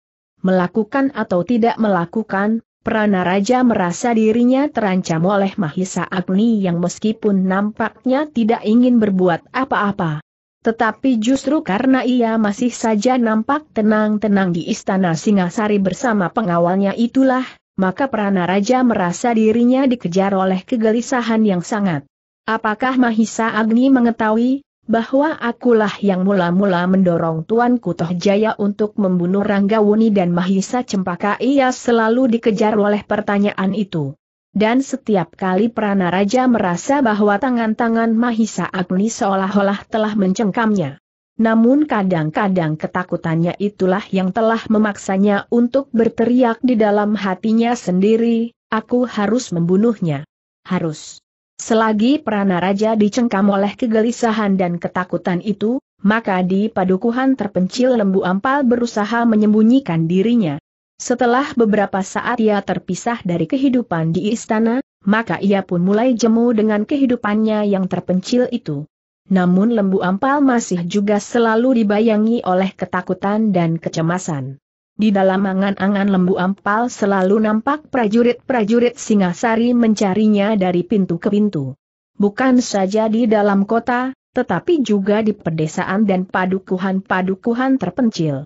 Lembu Ampal sama sekali tidak mengetahui bahwa Toh Jaya seakan-akan sudah tidak mengacuhkannya lagi. Lembu Ampal sama sekali tidak membayangkan bahwa Toh Jaya telah berubah menjadi seorang yang hidupnya dipenuhi oleh kekecewaan, malu dan rendah diri karena sifat-sifat ibunya. Namun untuk menutupi perasaan itu, ia justru menjadi seorang pemarah yang tidak tahu apa yang sebaiknya dilakukan perintahnya meledak-ledak tanpa arah, dan hubungannya dengan para pembantunya, para panglima yang pernah mendukungnya menjadi semakin tidak teratur lagi. Untunglah bahwa para panglima yang sudah terlanjur melangkahkan kaki mereka di belakang Toh Jaya, masih bersabar. Mereka menganggap bahwa Toh Jaya sedang dihinggapi oleh perasaan bersalah atas kematian Anusapati. Namun pada saatnya ia akan menjadi tenang dan akan memerintah Singasari dengan sebaik-baiknya. Dalam kegelisahan dan kejemuan itulah maka Lembu Ampal menilai keadaan dirinya. Ia tidak dapat mengabaikan Mahisa Agni. Hilangnya kedua anak-anak yang harus dibunuhnya itu, tentu atas usaha Mahisa Agni pula. Tidak ada orang yang mampu melakukannya selain Mahisa Agni adalah mustahil bahwa seseorang dapat melemparkan kedua anak-anak itu keluar halaman istana tanpa diketahui oleh penjaga. Baru setelah mereka berada di luar, kebetulan seorang penjaga melihat. Seseorang melintasi jalan, katanya di dalam hati. Dengan demikian Lembu Ampal merasa dirinya bukan saja dikejar oleh prajurit-prajurit istana karena ia lari dari tugasnya, tetapi ia merasa ngeri juga setiap ia mengenangkan nama Mahisa Agni. Jika Mahisa Agni mengetahui bahwa Ranggawuni dan Mahisa Cempaka ada di dalam bahaya, maka ia pun tentu tahu bahwa akulah yang akan melakukannya. Pendeta itu tentu mengatakan selengkapnya. Karena itulah maka lembu ampal tidak pernah merasa tenang tinggal di satu tempat dalam waktu yang cukup lama. Ia selalu berpindah-pindah dari padukuhan yang satu ke padukuhan yang lain. Kadang-kadang ia berganti nama dan kadang-kadang ia berusaha mengubah wajahnya dengan membiarkan kumis dan janggutnya tumbuh tidak teratur. Namun kemudian memotongnya dan memeliharanya dengan rapi. Dalam kegelisahan itulah maka kemudian Lembu Ampal menjadi seorang pengembara. Ia pergi tanpa tujuan. Ia mempergunakan nama yang berbeda-beda dan bentuk yang berubah-ubah. Ia menyusuri jalan-jalan pedesaan yang sepi dan bahkan sampai ke pinggir hutan. Menjelajahi padepokan-padepokan yang tidak dikenal namanya dan kadang-kadang bermalam di tempat-tempat yang tidak diketahuinya sendiri. Aku telah diburu oleh dosa-dosaku sendiri, keluhnya di dalam hati, meskipun aku belum melakukannya, tetapi kesediaanku menerima tugas itu telah membuat aku terlempar dari kehidupan yang wajar ini. Karena itu maka lembu ampal berusaha untuk menebus dosanya dengan berbuat kebaikan. Di perjalanannya melakukan tapang rame. Ia menolong setiap orang yang memerlukan pertolongannya, apa pun juga. Sementara itu, ia pun telah berusaha di setiap perjumpaannya dengan kejahatan, untuk membasminya. Sebagai seorang prajurit lembu ampal mempunyai bekal yang cukup. Ia adalah seorang yang berilmu tinggi, karena ia adalah seorang senapati terpilih di Singasari. Dalam pada itu di dalam pengembaraannya, tidak disadarinya, lembu ampal semakin lama justru semakin mendekati padepokan Witantra. Tempat kedua anak-anak muda yang dilarikan dari istana Singasari itu bersembunyi. Sebagai seorang perantau maka lembu ampal telah berubah sama sekali. Tidak seorang pun yang mengenalnya, bahwa ia adalah seorang senapati pilihan dari Singasari. Setiap padukuhan yang terpencil memang sangat menarik perhatian lembu ampal. Kadang-kadang ia menemukan sesuatu yang baru di dalam hidupnya. Di padukuhan atau padepokan kecil dan terpencil ia menemukan manusia yang mendambakan suara nurani kemanusiaannya manusia yang hidup dalam jalinan yang erat, mendatar dan meninggi. Antara sesama manusia dan hubungan dengan penciptanya. Lembu ampal berjalan terus. Namun sekali-kali lembu ampal masih juga harus mempergunakan kekerasan. Jika ia menemukan perampok-perampok yang tanpa belas kasihan mengganggu penduduk yang memang sudah hidup dalam kesederhanaan, maka ia pun telah berbuat sesuatu, meskipun seandainya harus menimbulkan kematian. Karena dengan demikian Lembu Ampal merasa bahwa dirinya telah ikut serta membantu berkurangnya kejahatan. Tetapi pada suatu saat, rasa-rasanya dada Lembu Ampal terguncang. Ketika ia berjalan menyusuri pinggir hutan yang tidak terlampau lebat, ia melihat tiga orang berjalan beriringan. Seorang yang sudah setengah umur, sedang kedua yang lain justru masih terlampau muda. Sekilas orang yang setengah umur itu memandang kepadanya. Namun perhatiannya pun kemudian terlempar ke arah yang lain. Agaknya orang itu menganggapnya seorang yang sedang bepergian jauh, atau seorang perantau yang berjalan tanpa tujuan. Tetapi dalam pada itu, kehadirannya di tempat itu telah membuatnya jadi sangat gelisah. Kedua anak-anak itu ternyata adalah Rangga Wuni dan Mahisa Cempaka. Gila desis lembu ampal, ternyata kedua anak-anak itu bersembunyi di tempat ini. Namun kemudian timbul persoalan di dalam dirinya, apakah yang seharusnya aku lakukan? Lembu ampal menjadi bimbang. Dari kejauhan ia mengikuti ketiga orang itu melintasi pematang. Kemudian menuju ke sebuah padepokan kecil tidak jauh dari hutan rindang itu. Aku dapat membunuhnya, lembu ampal menggeram. Namun ia pun kemudian terlempar dalam pertentangan di dalam dirinya sendiri.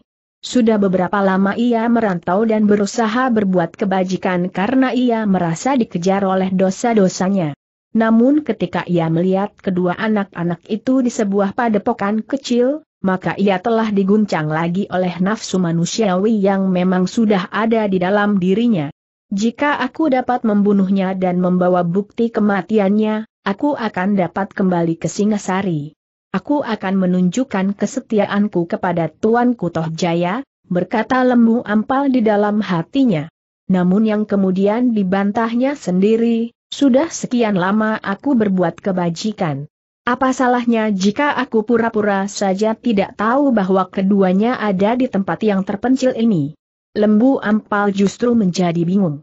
Karena itu, maka ia pun kemudian justru masuk ke dalam hutan dan duduk bersandar sebatang pohon. Ia ingin menemukan keputusan yang mantap. Apakah yang sebaiknya dilakukannya? Sejenak lembu ampal mencoba merenungi dirinya sendiri. Kehidupan selama ini. Berjalan dari satu tempat ke tempat yang lain bersembunyi dari satu padukuhan ke padukuhan yang lain menghindari pengamatan petugas-petugas sandi dari Singasari dan mungkin juga Mahisa Agni. Sudah cukup lama aku menderita, katanya kepada diri sendiri, dan sudah cukup banyak aku berbuat kebaikan. Apa salahnya jika aku sekarang memikirkan diriku sendiri? Jika aku berhasil membunuh keduanya, maka aku akan dapat kembali ke Singasari. Bahkan mungkin aku akan menerima hadiah. Aku akan hidup sebagai seorang senapati yang terhormat. Aku tidak perlu lagi ketakutan dikejar oleh petugas-petugas sandi atau oleh Mahisa Agni, karena ia berada di lingkungan keprajuritan. Lembu ampal menggeretakkan giginya. Dihentakannya tangannya sambil menggeram, aku harus membunuhnya. Tetapi tiba-tiba ia teringat kepada Mahisa Agni. Katanya kemudian, apakah Mahisa Agni ada di padepokan ini pula? Sejenak lembu ampal termangu-mangu. Namun kemudian ia berdesis, tentu Mahisa Agni tidak berada di padepokan ini. Tempat ini tentu sekedar menjadi tempat persembunyian saja. Tetapi lembu ampal tidak segera dapat mengambil sikap. Persoalan yang lain segera menyusul berurutan. Bukan persoalan duniawi semata-mata, tetapi sudah sekian lamanya ia merasa berjalan semakin dekat dengan Yang Maha Agung. Apakah aku harus menjauhinya lagi? Namun demikian, rasanya ada sesuatu yang mengikatnya di tempat itu. Ternyata bahwa lembu ampal tidak berhasrat untuk segera meninggalkan tempat itu. Rasa-rasanya ia masih ingin mengetahui, apakah Mahisa Agni ada di padukuhan itu atau tidak. Persetan ia menggeram, Aku sudah jemu hidup seperti serigala liar. Aku ingin kembali ke Singasari sebagai seorang senapati besar. Aku ingin hidup di lingkungan istana kembali, dikelilingi oleh serba kebendaan yang menyenangkan. Di daerah perantauan aku hidup seperti seekor burung di udara. Kadang-kadang hinggap sehari dua hari, kemudian terbang lagi mencari sesuap makanan. Lembu ampal tiba-tiba mengepalkan tinjunya. Dipukulnya sebongkah batu padas dengan sepenuh kekuatannya, sehingga batu padas itu menjadi pecah berserakan. Tanganku masih cukup kuat. Ilmuku masih cukup mapan untuk membunuh kedua kelinci itu. Tanpa Mahisa Agni keduanya adalah kelinci-kelinci yang malang. Tiba-tiba lembu ampal telah dicengkam oleh nafsu duniawinya kembali. Jika selama ini ia sudah melakukan tapang rame, menolong setiap insan yang memerlukan pertolongannya, bukan saja seseorang, tetapi juga menolong seekor katak yang akan disergap oleh seekor ular, kini ialah yang telah siap untuk menyergap Ranggawuni dan Mahisa Cempaka. Dengan membawa bukti kematian kedua anak-anak itu, maka ia akan dapat kembali ke istana dengan sebutan kebesarannya. Satu dua hari lembu ampal mempergunakannya untuk menyelidiki apakah Mahisa Agni ada di pedesaan itu. Ternyata ia tidak pernah melihat Mahisa Agni ada di antara Ranggawuni dan Mahisa Cempaka. Setiap kali Ranggawuni dan Mahisa Cempaka hanya ditemani oleh seseorang yang belum dikenalnya dengan baik. Ketika lembu ampal melihat Ranggawuni dan Mahisa Cempaka berjalan menuju ke bagian dalam dari hutan yang rindang itu, ia menjadi haran. Apakah yang akan dikerjakannya? Kedua anak-anak itu hanyalah ditemani oleh seorang yang setengah umur dan nampaknya hanyalah seorang penghuni padepokan terpencil itu. Kesempatan itu akan dipergunakan oleh lembu ampal melakukan maksudnya. Tetapi tiba-tiba ia mengurungkan niatnya. Ia ingin melihat, apa saja yang dilakukan oleh kedua anak itu. Di tengah hutan rindang itu Ranggawuni dan Mahisa Cempaka sudah siap untuk melakukan latihan seperti biasanya. Namun tiba-tiba saja orang yang menemaninya itu berkata, hari ini kita tidak akan berbuat apa-apa. Kenapa Paman? Kita beristirahat. Kita melihat saja keadaan di hutan ini. Meskipun kalian telah cukup lama ada di sini, tetapi kalian tentu belum pernah melihat isinya sampai ke ujung. Hutan ini amat luas. Tidak. Hutan ini adalah hutan kecil. Tetapi jika kalian tidak ingin menelusuri sampai ke ujung, baiklah kita kembali saja ke padepokan. Ranggawuni dan Mahisa Cempaka sama sekali tidak mengerti. Kenapa mereka tidak berbuat apa-apa sama sekali? Adalah di luar kebiasaan, bahwa mereka tanpa sebab tidak melakukan latihan apa pun juga. Tetapi keduanya tidak membantah. Mereka mengikuti saja kembali ke padepokan tanpa melakukan apa-apa. Lembu ampal termangu-mangu melihat ketiga orang itu pergi. Sejenak ia berpikir. Tetapi ia tidak mengetahui apa yang sebenarnya telah dilakukan oleh ketiganya. Aku terlampau bodoh, Berkata lembu ampal agak menyesal, jika aku tidak dipengaruhi oleh keinginanku untuk mengetahui apa saja yang mereka lakukan, maka aku sudah berhasil membunuh mereka dan membawa bukti kematian mereka menghadap Tuan Kutoh Jaya.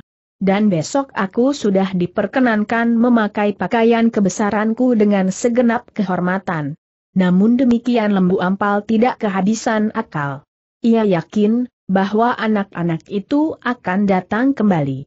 Atau setidak-tidaknya ia akan mendapat kesempatan yang lain. Dengan demikian, maka lembu ampal pun masih tetap menunggu. Jika sekali lagi anak-anak itu pergi ke hutan, maka mereka tentu akan segera disergapnya. Di hari berikutnya, lembu ampal sudah mengawasi padepokan itu dari kejauhan. Hatinya menjadi berdebar-debar ketika ia melihat beberapa orang keluar dari padepokan itu pergi ke sawah. Ia mengharap bahwa kedua anak-anak itu akan ada pula di antara mereka. Tetapi ia menjadi kecewa. Ranggawuni dan Mahisa Cempaka tidak beserta dengan orang-orang yang akan pergi ke sawah itu. Apakah anak-anak itu akan pergi ke hutan lagi? Dengan sabar lembu ampal menunggu. Ia selalu mengawasi mulut padepokan itu. Sekejap pun ia tidak melewatkannya. Setiap orang yang keluar dari padepokan tidak terlepas dari pengawasannya.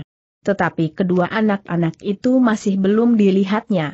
Apakah aku harus menyerbu masuk ke padepokan itu dan langsung membunuhnya di sana ia bertanya kepada diri sendiri. Biarlah. Aku akan menunggu sampai lewat tengah hari. Jika sampai lewat tengah hari kedua anak-anak itu belum juga keluar, maka aku akan memasuki padepokan itu. Aku tidak peduli, bahwa penduduknya akan menjadi ketakutan. Namun ternyata lembu ampal tidak perlu menunggu sampai lewat tengah hari. Tiba-tiba saja ia melihat kedua anak muda itu berlari-lari. Di belakangnya orang yang dilihatnya kemarin menyertai anak-anak muda itu ke hutan, berjalan pula di belakangnya. Jangan berlari-lari, berkata orang yang mengikutinya itu, kita pergi ke hutan. Jika aku tidak meleset, aku akan mencari seseorang untuk menjadi kawan kita berlatih hari ini. Rangga Wuni dan Mahisa Cempaka menjadi haran. Sehingga Rangga Wuni pun bertanya, siapa paman? Nanti aku akan memberitahukan. Keduanya tidak mendesaknya lagi meskipun mereka masih tetap ingin tahu. Pamannya itu tentu tidak akan mau memberitahukan sampai saat yang dikehendakinya. Dalam pada itu lembu ampal menjadi semakin berdebar-debar. Kedua anak-anak itu benar-benar pergi ke hutan seperti dilihatnya kemarin. Aku tidak peduli apa saja yang dilakukannya aku ingin membunuhnya sekarang. Dengan demikian maka lembu ampal pun merayap mengikuti Ranggawuni dan Mahisa Cempaka. Ia berlindung dan balik sebatang pohon ke sebatang pohon yang lain, sehingga akhirnya ia melihat Ranggawuni dan Mahisa Cempaka berhenti di sebuah tempat terbuka yang agak luas. Apakah yang akan mereka lakukan bertanya lembu ampal kepada diri sendiri. Sejenak lembu ampal menunggu sambil berlindung di sebuah gerumbul yang agak lebat. Dari tempatnya ia dapat melihat tiga orang yang berada di tempat yang terbuka itu. Tetapi lembu ampal tidak melihat mereka berbuat sesuatu. Mereka bertiga pun kemudian duduk berhadapan sambil berbicara. Tetapi lembu ampal tidak dapat mendengar pembicaraan mereka dari tempatnya bersembunyi. Gila des is lembu ampal, aku tidak peduli. Sudah saatnya aku bertindak. Besok aku tentu akan disambut dengan penuh kehormatan di Singasari. Lembu Ampal telah benar-benar melupakan penyesalan yang pernah mencengkam hatinya, seakan-akan ia merasa telah dikejar oleh perasaan berdosa, sehingga tidak ada lagi tempat untuk bersembunyi baginya.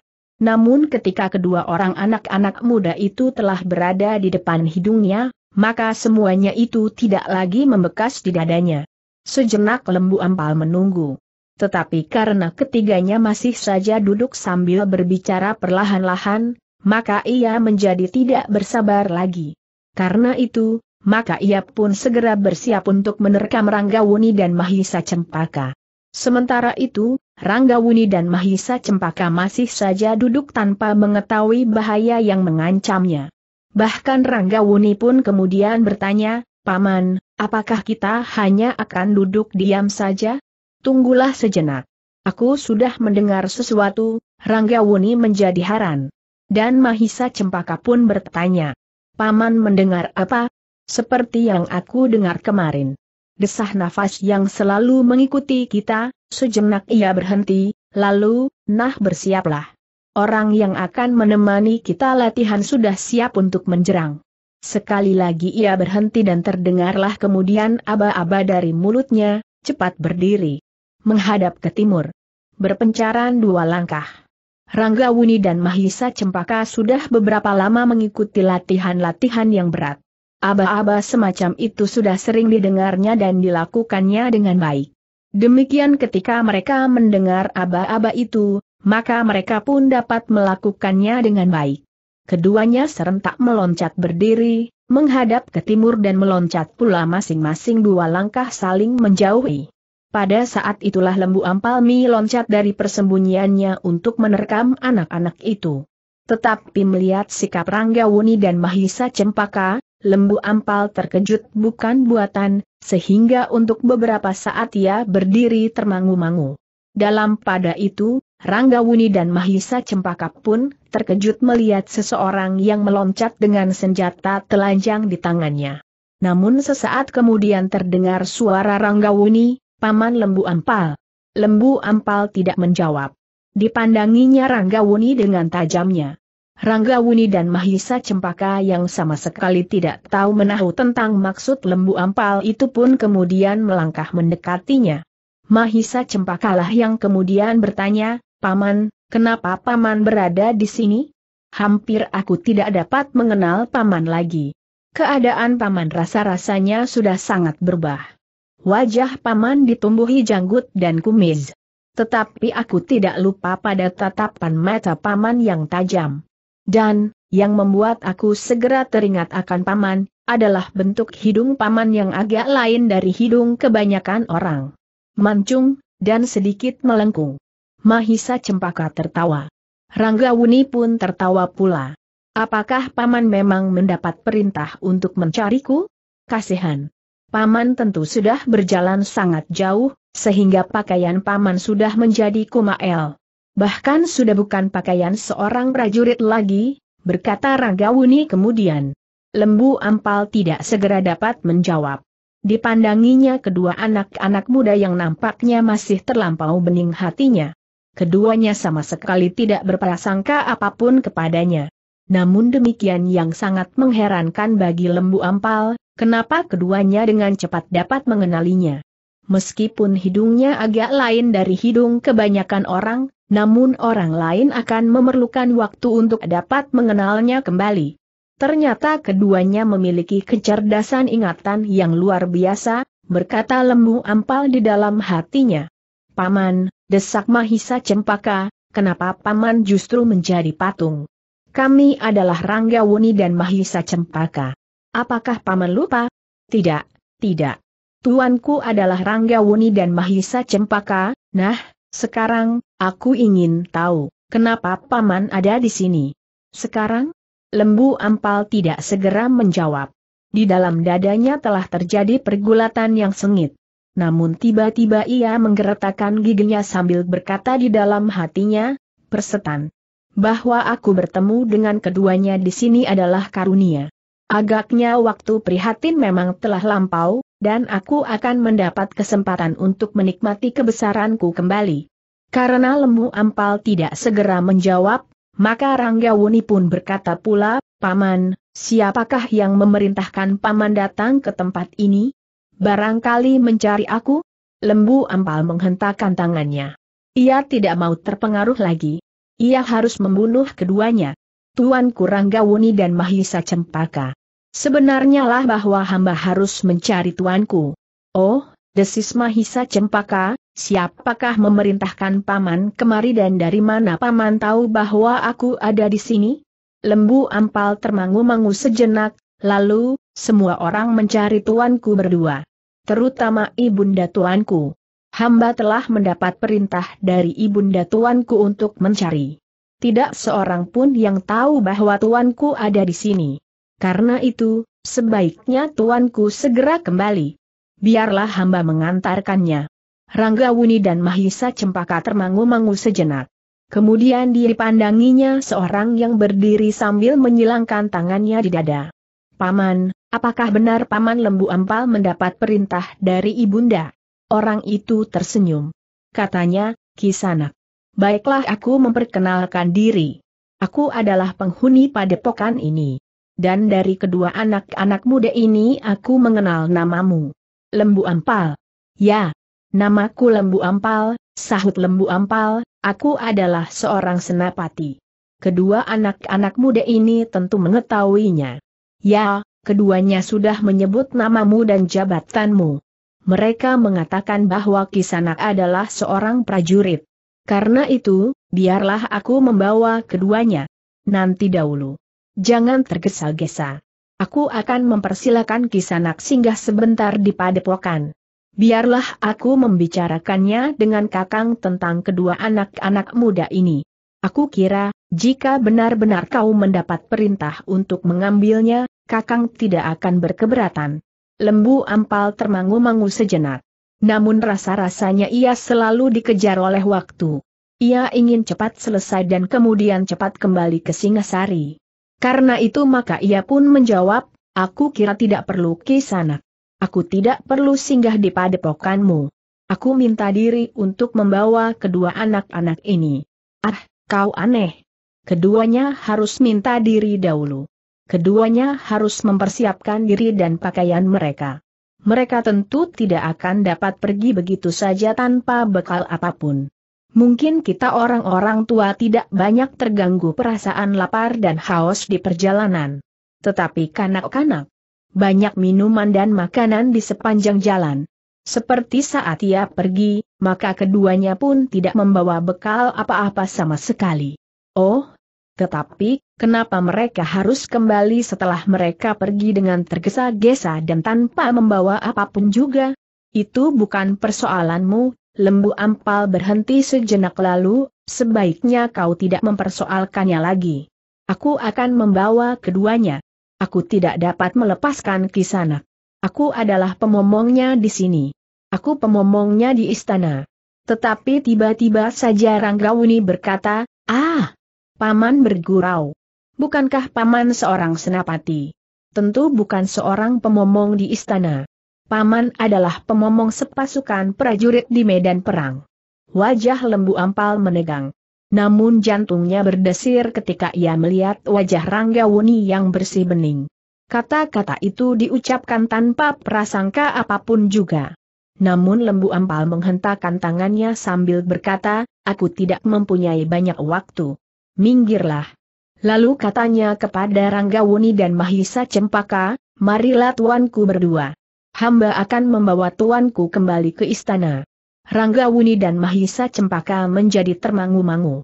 Sementara itu orang setengah umur yang menyertainya berkata, kedua anak-anak itu sudah mengerti, apa yang akan terjadi atas dirinya jika mereka kembali ke istana. Itulah sebabnya keduanya melarikan diri.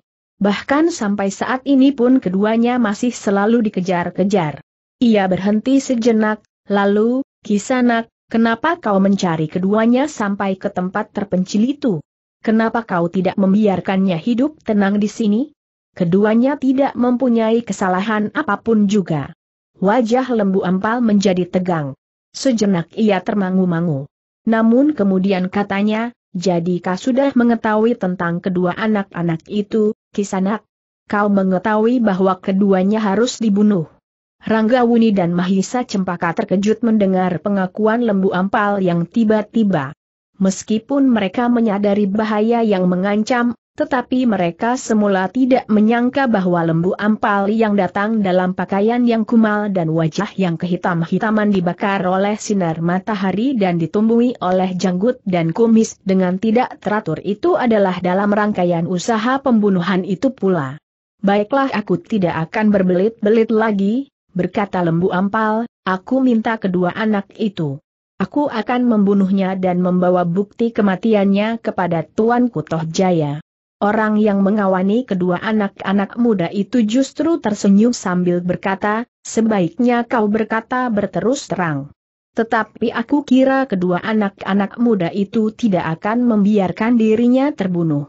Adalah haknya untuk membela diri mereka sendiri. Lembu ampal menjadi tegang. Tetapi juga Ranggawuni dan Mahisa Cempaka menjadi tegang. Kisanak, berkata orang yang bersama kedua anak-anak muda itu, setiap makhluk hidup akan mempertahankan hidupnya secara naluriah. Seekor kelinci akan mencoba melarikan dirinya dari kuku-kuku anjing liar. Apalagi kedua anak-anak muda itu. Aku tidak peduli teriak lembu ampal, membela diri atau tidak, keduanya akan aku bunuh. Kami bertiga kisanak. Kau hanya seorang diri. Lembu ampal mengerutkan keningnya. Namun kemudian ia pun tertawa berkelanjangan. Katanya, apakah artinya kalian bertiga? Apa artinya Ranggawuni dan Mahisa Cempaka? Mungkin kau mempunyai sedikit kemampuan untuk mempertahankan diri beberapa saat. Namun keduanya tidak akan dapat membantumu. Betapapun juga, kami akan bertahan. Jika perlu, aku akan berkelahi, sementara kedua anak-anak muda itu sempat melarikan dirinya. Sekali lagi lembu ampal tertawa. Katanya, setiap perlawanan akan membuat kalian bertiga semakin menderita menjelang hari-hari kematianmu. Paman lembu ampal, tiba-tiba saja Ranggawuni memotong, aku tidak menyangka bahwa Paman adalah salah seorang dari mereka yang akan mencelakai aku. Tetapi sebenarnya lah bahwa kami tidak akan menyerah tanpa berbuat apa-apa. Dan tiba-tiba saja Mahisa Cempaka menyela sambil memandang kepada orang yang menyertainya, jadi orang inikah yang paman maksudkan sebagai kawan berlatih? Orang itu tersenyum. Katanya, ya, inilah yang aku maksud, dari mana paman tahu, bahwa ia berada di hutan ini bukankah ia sendiri datang kepada kita? Tetapi paman tentu sudah tahu lebih dahulu. Sejak kita memasuki hutan ini, Paman sudah mengatakan bahwa Paman akan memberikan seorang kawan untuk berlatih. Lembu Ampal terkejut mendengar pembicaraan itu. Ternyata kedatangannya sudah diketahui terlebih dahulu. Dan itu sama sekali tidak diduganya. Karena itu ia menjadi ragu-ragu. Siapakah yang sudah melihatnya berkeliaran di padepokan ini?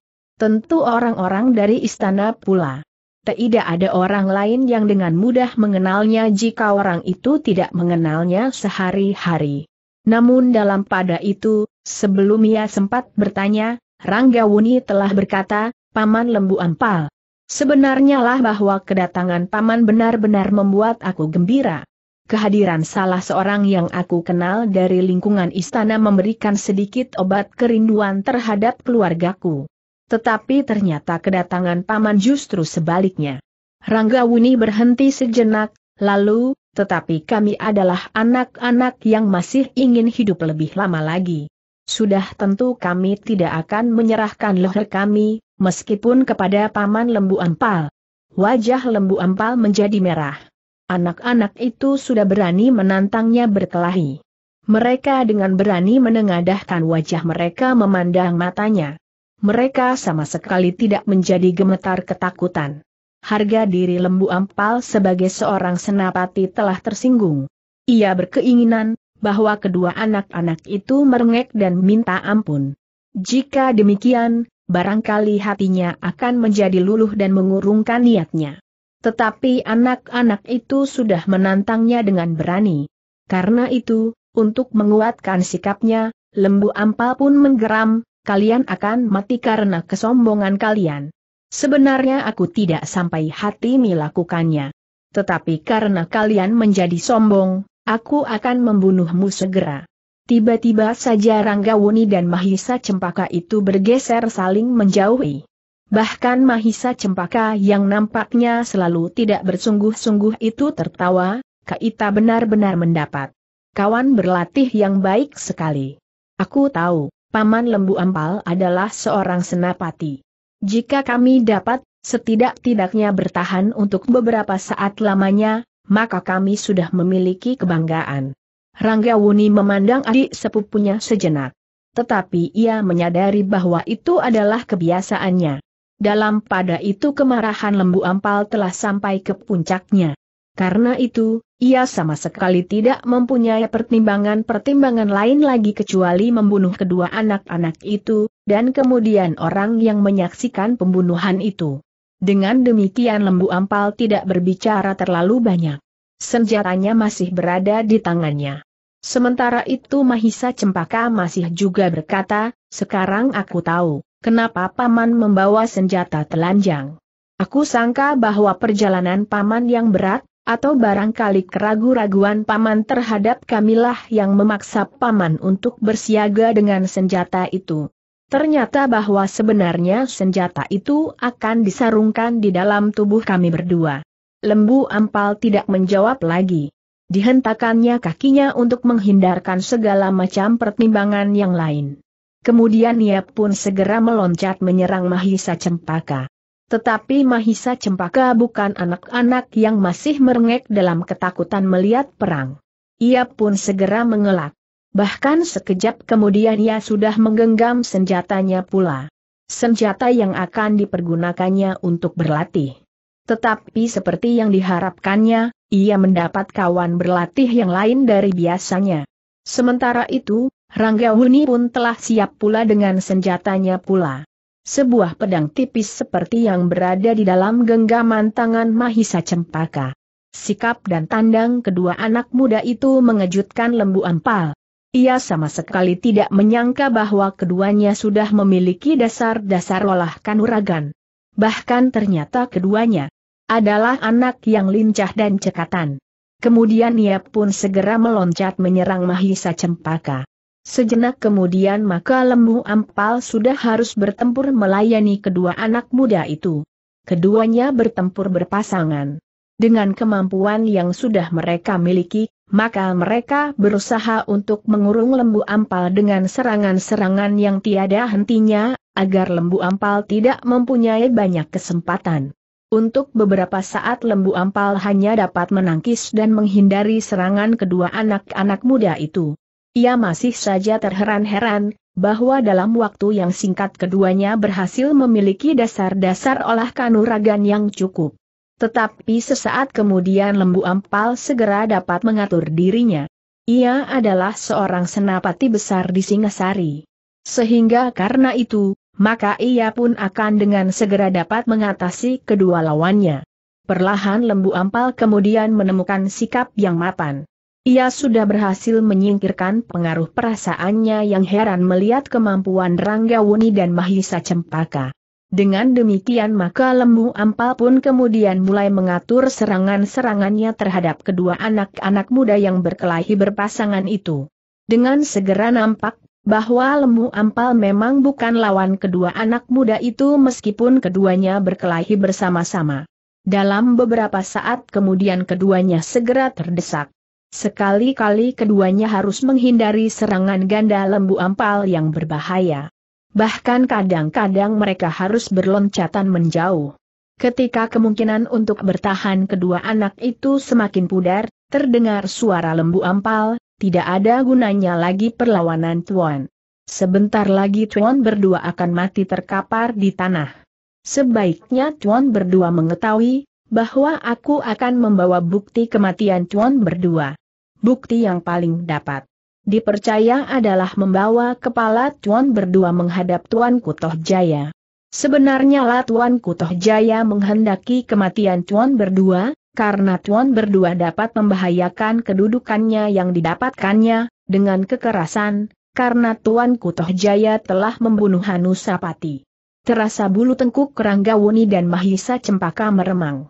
Rasa-rasanya leher mereka sudah mulai terasa dingin, seolah-olah mata pedang lembu ampal telah mulai menyentuhnya. Berhentilah berkelahi, teriak lembu ampal, berjongkoklah, agar aku dapat memenggal kepala Tuan dengan mudah. Jika Tuan berdua masih saja melawan, mungkin aku akan mengambil sikap lain, dan membunuh Tuan berdua dengan cara yang tentu tidak akan Tuan sukai. Ranggawuni dan Mahisa Cempaka tidak segera menjawab. Mereka masih sibuk membebaskan diri dari serangan lembu ampal yang bagaikan arus banjir bandang. Cepat, lemparkan senjata Tuan, teriak lembu ampal. Tetapi Ranggawuni dan Mahisa Cempaka tidak melepaskan senjatanya. Mereka masih berusaha melawan dengan gigihnya. Lembu ampal menjadi semakin marah, sehingga serangannya menjadi semakin berat. Katanya, Chuan berdua memang sedang sekarat, Chuan berdua memilih jalan yang pahit. Kau akan dikutuk oleh rakyat Singasari, teriak Ranggawuni kemudian, kau pengkhianat seperti Pamandatoh Jaya kematian bukan lagi sesuatu yang menakutkan bagi kami. Persetan bentak lembu ampal, aku akan menyumpal mulutmu dengan ujung pedang. Kai Sanak, tiba-tiba orang yang selama itu menyaksikan perkelahian yang sengit itu berkata, kau tidak akan dapat membunuhnya di hadapan seorang saksi. Aku adalah saksi yang dapat menceritakan apa yang telah terjadi di sini. Kau pun harus mati. Tidak. Aku tidak mau mati. Jawaban itu mengejutkan lembu ampal.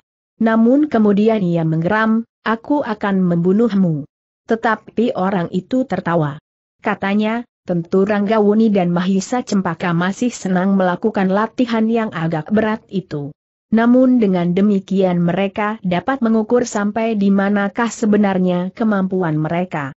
Kemarahan lembu ampal telah mendesak kedua anak muda itu sehingga keduanya seolah-olah hanya dapat berloncat-loncatan bergantian. Untuk mengurangi tekanan pada yang seorang, yang lain mencoba menyerang. Namun semua pasti, bahwa mereka tidak akan mampu menyelamatkan diri berdasarkan atas kemampuan mereka itu sendiri. Karena itulah, maka orang yang menyertainya itu pun maju beberapa langkah sambil berkata, agaknya latihan untuk hari ini sudah cukup. Kawanmu berlatih masih terlampau berat bagimu berdua. Kata-kata itu benar-benar tidak dapat dimengerti oleh lembu ampal. Yang terasa olehnya adalah suatu penghinaan yang tidak dapat dimaafkannya lagi.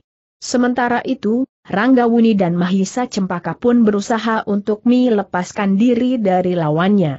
Tetapi lembu ampal yang dibakar oleh kemarahan yang menyala di dadanya itu tidak mau melepaskan kedua anak-anak itu sama sekali.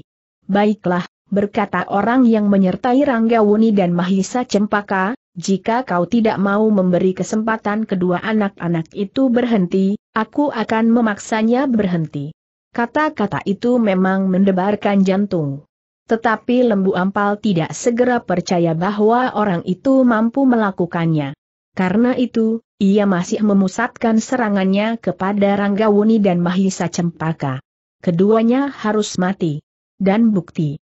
Kematian keduanya akan membawanya kepada kedudukannya yang semula. Tetapi betapa ia terkejut ketika tiba-tiba saja ia bagaikan terbentur pada kekuatan yang tidak diduganya sama sekali. Ketika pedangnya sedang memburu dan bahkan hampir saja mematuk tubuh Ranggawuni, terasa kekuatan yang luar biasa telah mendorong serangannya, sehingga serangannya itu pun terpotong karenanya. Bukan saja ia harus menarik senjatanya, namun terasa tangan dan lengannya menjadi sakit dan nyeri. Sesaat lembu ampal mematung.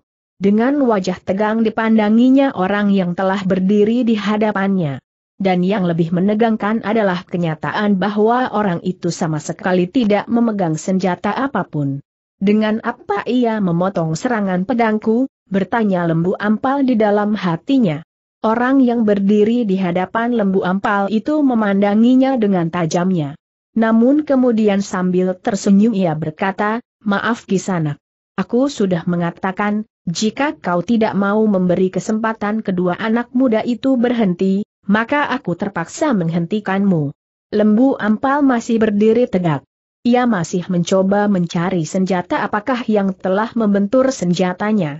Namun lembu ampal tidak menemukannya. Nah, sekarang terserah kepadamu, berkata orang itu, apakah kau masih ingin melanjutkan latihan ini? Tetapi karena kedua anak muda itu sudah lelah, maka biarlah aku yang mengawanimu bermain pedang.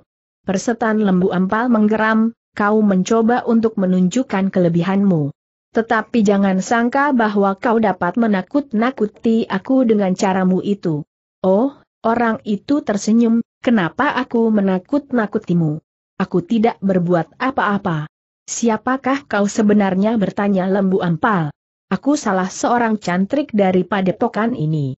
Padepokan ini adakah padepokan Panji Pati Pati? Seorang prajurit Singasari yang berada di Kediri. Bohong. Aku mengenal semua prajurit Singasari yang ada di Kediri. Kecuali yang satu itu. Ia adalah seorang prajurit baru yang diangkat oleh Tuanku Mahisa Agni sebelum ia dipanggil menghadap ke Singasari. Sebelumnya ia adalah seorang yang sudah mengasingkan diri di padepokan ini. Kini pun ia seakan-akan berada di dua tempat.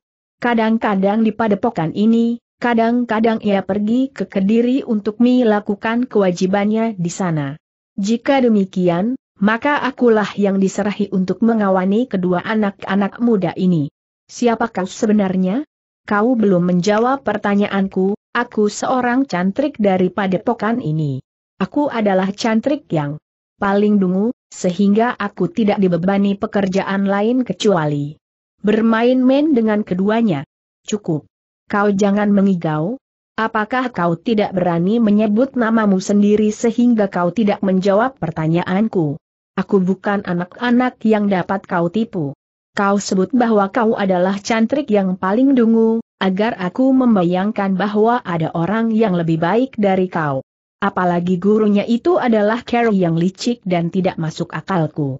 Orang itu menarik nafas dalam. Lalu, kau memang cerdas. Pantas kau mendapat tugas untuk membunuh kedua anak muda itu. Baiklah. Aku memang bukan cantrik yang paling dulu. Tetapi bahwa Panji Pati Pati sekarang tidak ada di padepokan itu benar. Ia memang sedang pergi ke Kediri seperti yang dilakukannya setiap kali. Tetapi karena ia sudah beberapa hari pergi, menurut rencananya, hari ini ia akan kembali. Aku bertanya namamu. Oh, baiklah. Namaku Mahendra. Mahendra. Apa hubunganmu dengan kedua anak muda itu kita adalah sesama. Kita sama-sama dilahirkan oleh kuasa yang Maha Pencipta. Seperti juga kau. Jadi, kita wajib tolong menolong. Itulah hubungannya. Lembu ampal menggeretakkan giginya. Kemudian dengan marahnya ia berkata, Mahendra, jika kau keras untuk melindungi kedua anak muda itu maka aku akan membunuhmu. Aku sudah bertekad melakukan tugasku sebaik-baiknya. Kau memang akan membunuh aku. Jika aku tidak berbuat apa-apa pun kau sudah berniat membunuhku juga, karena aku akan dapat menjadi saksi di dalam pembunuhan ini. Karena itu, daripada aku bersalah terhadap kewajibanku bagi sesama, maka sebaiknya aku mencoba untuk mengurungkan niatmu. Lembu ampal menjadi tidak sabar lagi. Sambil beringsut setapak mendekat ia berkata, jika demikian, kau yang harus aku bunuh lebih dahulu. Kemudian membunuh kedua kelinci itu tidak akan ada sulitnya. Jika aku tidak mampu melawan kau seorang diri, kami akan bertempur bertiga. Agaknya kedua anak muda itu akan berpengaruh juga atas perkelahian kita, setelah ternyata mereka mempertahankan diri mereka untuk beberapa saat lamanya. Lembu ampal tidak menjawab lagi. Ia pun kemudian mempersiapkan dirinya. Selangkah ia maju lagi. Pedangnya pun kemudian mulai merunduk tetapi hatinya menjadi berdebar-debar melihat orang yang menyebut dirinya bernama Mahendra itu masih tetap berdiri di tempatnya tanpa memegang senjata apa pun. Dengan demikian lembu ampal menduga, bahwa orang itu memang merasa dirinya memiliki ilmu yang jauh lebih tinggi daripadanya. Namun lembu ampal tidak yakin. Ia adalah seorang senapati kepercayaan Toh Jaya. Hanya Mahisa Agnilah orang yang pantas disegani di Singasari sepeninggal Anusapati dan Sri Rajasa. Tetapi orang itu agaknya terlampau yakin akan dirinya sendiri. Meskipun demikian, lembu ampal masih juga menggeram. Cepat, ambil senjatamu. Mahendra tertawa. Katanya, aku tidak membawa senjata apa pun, karena aku memang tidak berniat untuk berkelahi. Ambil senjata anak-anak itu biarlah mereka memegang senjata masing-masing. Mereka harus tetap waspada karena merekalah yang sebenarnya menjadi sasaranmu saat ini. Lembu ampal menggeretakkan giginya. Sejenak ia memandang wajah Mahendra yang masih tetap tenang. Katanya dengan nada yang dalam, jika kau mati, itu adalah akibat dari kesombonganmu. Mahendra tidak menjawab. Tetapi ia sudah siap menghadapi setiap kemungkinan, meskipun nampaknya ia masih berdiri saja di tempatnya. Lembu ampal yang sudah tidak dapat menahan kemarahannya lagi itu pun mulai menjulurkan pedangnya. Sambil menggerakkan ujung pedang itu, ia pun mulai bergeser. Mahendra merendahkan tubuhnya sedikit. Ia menghadap ke mana saja lembu ampal bergerak namun tiba-tiba saja lembu ampal yang marah itu meloncat menyerang. Pedangnya tidak saja mematuk lawannya, tetapi pedang itu kemudian telah terayun mendatar menyambar leher Mahendra. Mahendra yang sudah siap menghadapi kemungkinan itu, meloncat surut sambil merendahkan tubuhnya sehingga pedang itu terbang hanya sejengkal di atas kepalanya. Namun dalam pada itu selagi tangan lembu ampal masih terayun. Mahendra dengan cepatnya memiringkan tubuhnya. Diangkatnya sebelah kakinya menyambar lambung lawannya. Lembu ampal masih sempat melihat serangan itu. Ia tidak menahan tangannya. Tetapi ia justru berputar setengah lingkaran dan kemudian berdiri tegak di atas kedua kakinya yang renggang sambil menyilangkan pedang di dadanya. Mahendra menarik nafas dalam-dalam. Lembu ampal cukup cekatan. Tetapi yang dilakukan oleh Mahendra adalah sekedar peringatan bagi lawannya, bahwa serangan yang tergesa-gesa itu sama sekali tidak akan dapat mengenai sasarannya. Namun bagi lembu ampal, peringatan itu terasa mendebarkan jantungnya. Sejak semula ia sudah tergetar melihat sikap Mahendra. Dan ternyata Mahendra itu mampu bergerak lebih cepat dari ayunan pedangnya. Meskipun demikian, lembu ampal tidak segera terpengaruh. Sekali lagi bersiap. Pedangnya kini bergerak lebih cepat. Seolah-olah pedang itu akan mematuk dari segala arah. Mahendra bergerak selangkah. Dengan tajamnya ia memandang lawannya. Tidak pada ujung pedangnya, tetapi pada matanya. Dalam pada itu, Ranggawuni dan Mahisa Cempaka memperhatikan perkelahian itu dengan seksama. Kadang-kadang mereka menjadi cemas. Namun kadang-kadang mereka tersenyum.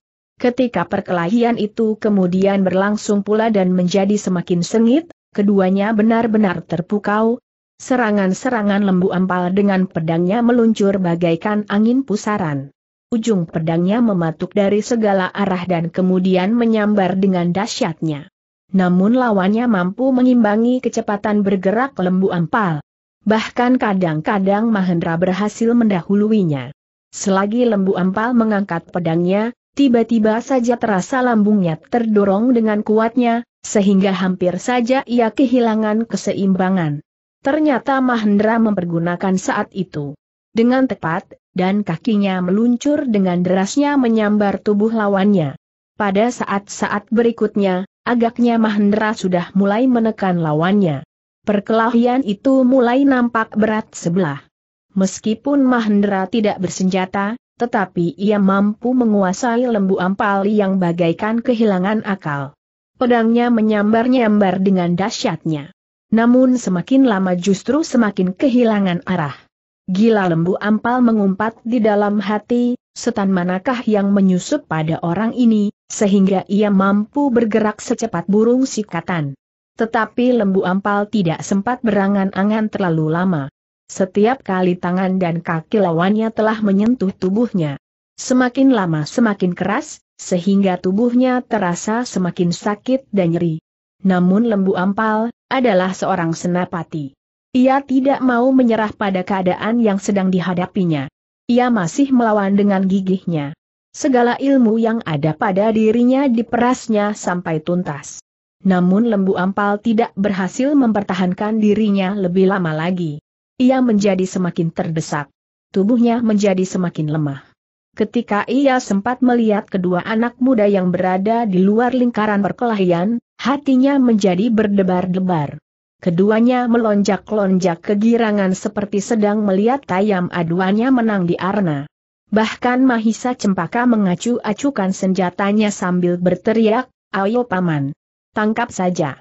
Nanti aku akan mencabuti kumis dan janggutnya. Lembu ampal menjadi semakin marah. Tetapi ia pun menyadari bahwa tubuhnya menjadi semakin lemah. Perlawanannya menjadi semakin tidak berarti. Apalagi ketika ia sadar pula, bahwa lawannya masih tetap segar meskipun ia tidak bersenjata. Bagaimanapun juga, sebagai seorang yang berpengalaman lembu ampal harus melihat kenyataan itu, bahwa lawannya benar-benar seorang yang mumpuni di dalam olah kanuragan. Aku tidak menyangka, bahwa di padepokan kecil ini masih ada orang yang mempunyai kemampuan bertempur demikian tinggi. Hampir seperti Mahisa Agni, gumam lembu ampal di dalam hatinya. Meskipun lembu ampal benar-benar pantang menyerah, tetapi perlawanannya sudah tidak berarti sama sekali pedangnya hampir tidak lagi dapat diayunkannya, karena tangannya menjadi sangat lemah, seolah-olah telah kehilangan tulang-tulangnya sama sekali. Karena itu, ketika Mahendra menyerangnya mendatar dengan kakinya, lembu ampal yang sudah lemah itu tidak berhasil menghindarkan diri. Ia mencoba melindungi dirinya dengan menjulurkan pedangnya. Tetapi serangan mendatar itu tiba-tiba saja diurungkannya, ketika Mahendra melihat pedang itu masih mampu bergerak. Namun dengan sebuah loncatan, Mahendra tiba-tiba saja sudah berdiri di sebelah lawannya. Dengan tangannya, Mahendra memukul tengkuk lembu ampal. Lembu ampal yang memang sudah kehilangan tenaga itu terdorong beberapa langkah.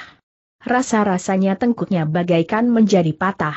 Sejenak ia kehilangan keseimbangan, dan matanya menjadi berkunang-kunang. Lembu ampal tidak dapat bertahan untuk berdiri. Tiba-tiba ia sudah terhuyung-huyung dan jatuh tertelungkup. Untunglah bahwa ia masih sadar, bahwa pedangnya akan dapat melukai tubuhnya sendiri, sehingga ia dapat menjulurkan pedangnya ke samping. Meskipun demikian lembu ampal tidak menyerah dan pasrah. Ia masih mencoba untuk bangkit berdiri.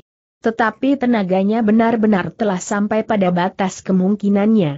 Sehingga meskipun ia berhasil bangkit dan berjongkok pada lututnya, namun lembu ampal sudah tidak dapat berdiri lagi meskipun ia bertelekan pada pedangnya.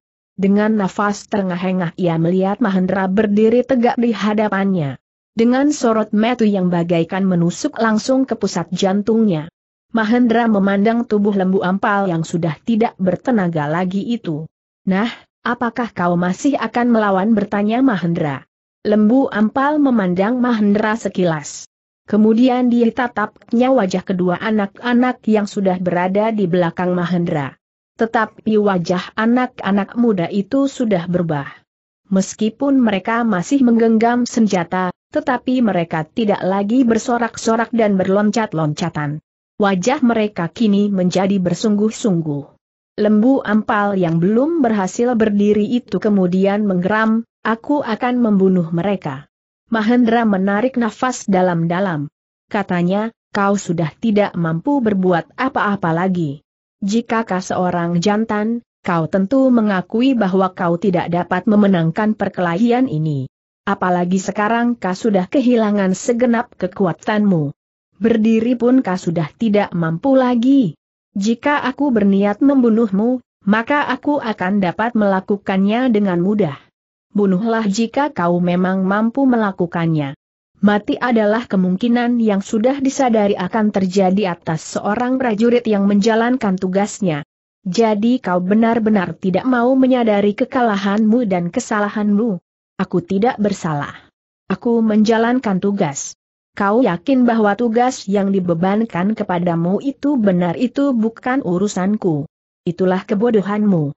Dan kebodohan seperti itulah yang dapat menjerumuskan Singasari ke dalam bencana. Persetan. Kau bukan pemimpinku. Kau tidak dapat memberikan perintah kepadaku, nafas lembu ampal bagaikan terputus, lalu, cepat, kalau kau akan membunuhku lakukanlah. Mahendra berdiri termangu-mangu. Tetapi ia tidak segera berbuat sesuatu. Cepat lembu ampal berteriak, Apakah kau ingin berbangga menikmati kemenanganmu berlama-lama?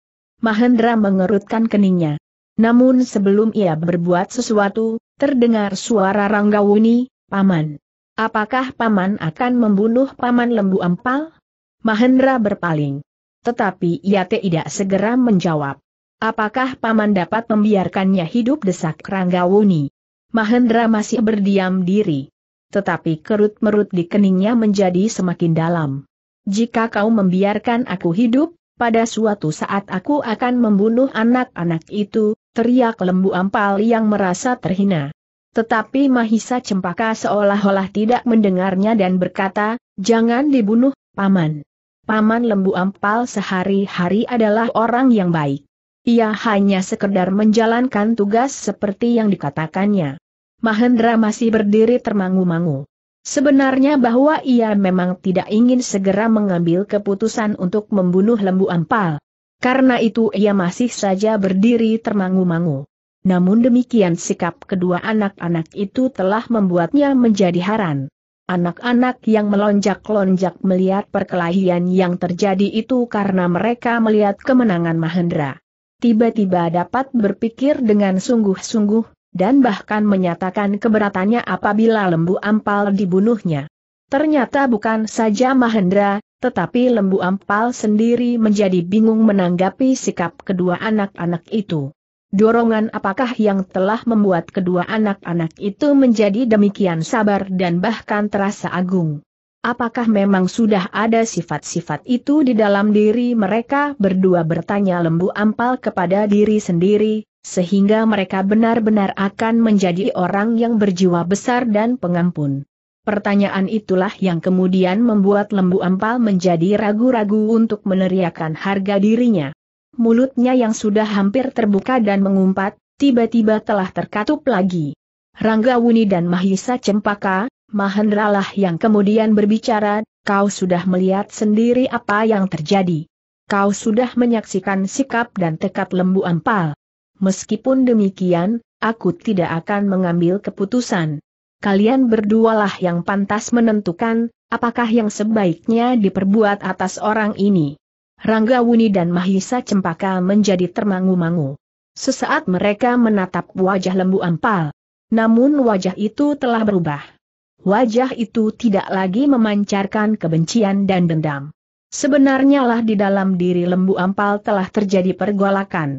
Sekilas ia teringat kepada sikap pendeta istana yang bersedia mengalami apa pun untuk keselamatan kedua anak-anak muda itu.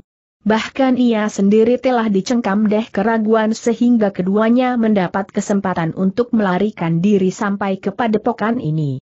Apalagi selama pengembaraannya, lembu ampal seakan-akan menemukan jalan yang lurus mendekati yang maha agung. Tetapi ternyata ketika ia melihat kedua anak-anak itu nafsunya telah melonjak kembali untuk mendapatkan kamukten. Tetapi sekedar kamukten duniawi.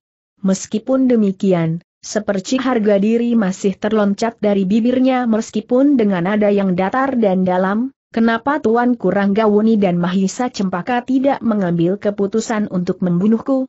Bukankah aku sudah berniat untuk membunuh tuanku berdua? Namun terasa bahwa nada kata-kata lembu ampal telah berubah. Apalagi bagi Mahendra. Ketajaman inderanya segera menangkap geseran perasaan lembu ampal yang masih berdiri pada lututnya dan bertelekan pedangnya. Sejenak orang-orang yang masih belum beranjak dari tempatnya itu saling berdiam diri. Tetapi lembu ampal sudah tidak lagi menengadahkan dadanya. Perlahan-lahan kepalanya menjadi tunduk. Lembu ampal sama sekali tidak menjadi cemas atas keselamatannya. Ia sama sekali tidak takut ujung pedang lawannya. Tetapi justru kebesaran jiwa kedua anak muda itu telah membuat hatinya menjadi luluh. Kedua anak muda yang sadar bahwa mereka akan dibunuh olehnya karena perintah Toh Jaya yang tidak mau melihat keduanya menjadi dewasa penuh dan berpengaruh atas rakyat Singasari karena nama-nama orang tua mereka. Kenapa mereka tidak berniat untuk membunuhku saja, ia mengeluh di dalam hatinya, sikap itu sangat menyiksaku apalagi jika lembu ampal mengenang perkembangan sikapnya sendiri. Penyesalan yang mendalam mulai merayapi hatinya. Ia sudah hampir menemukan jalan yang benar.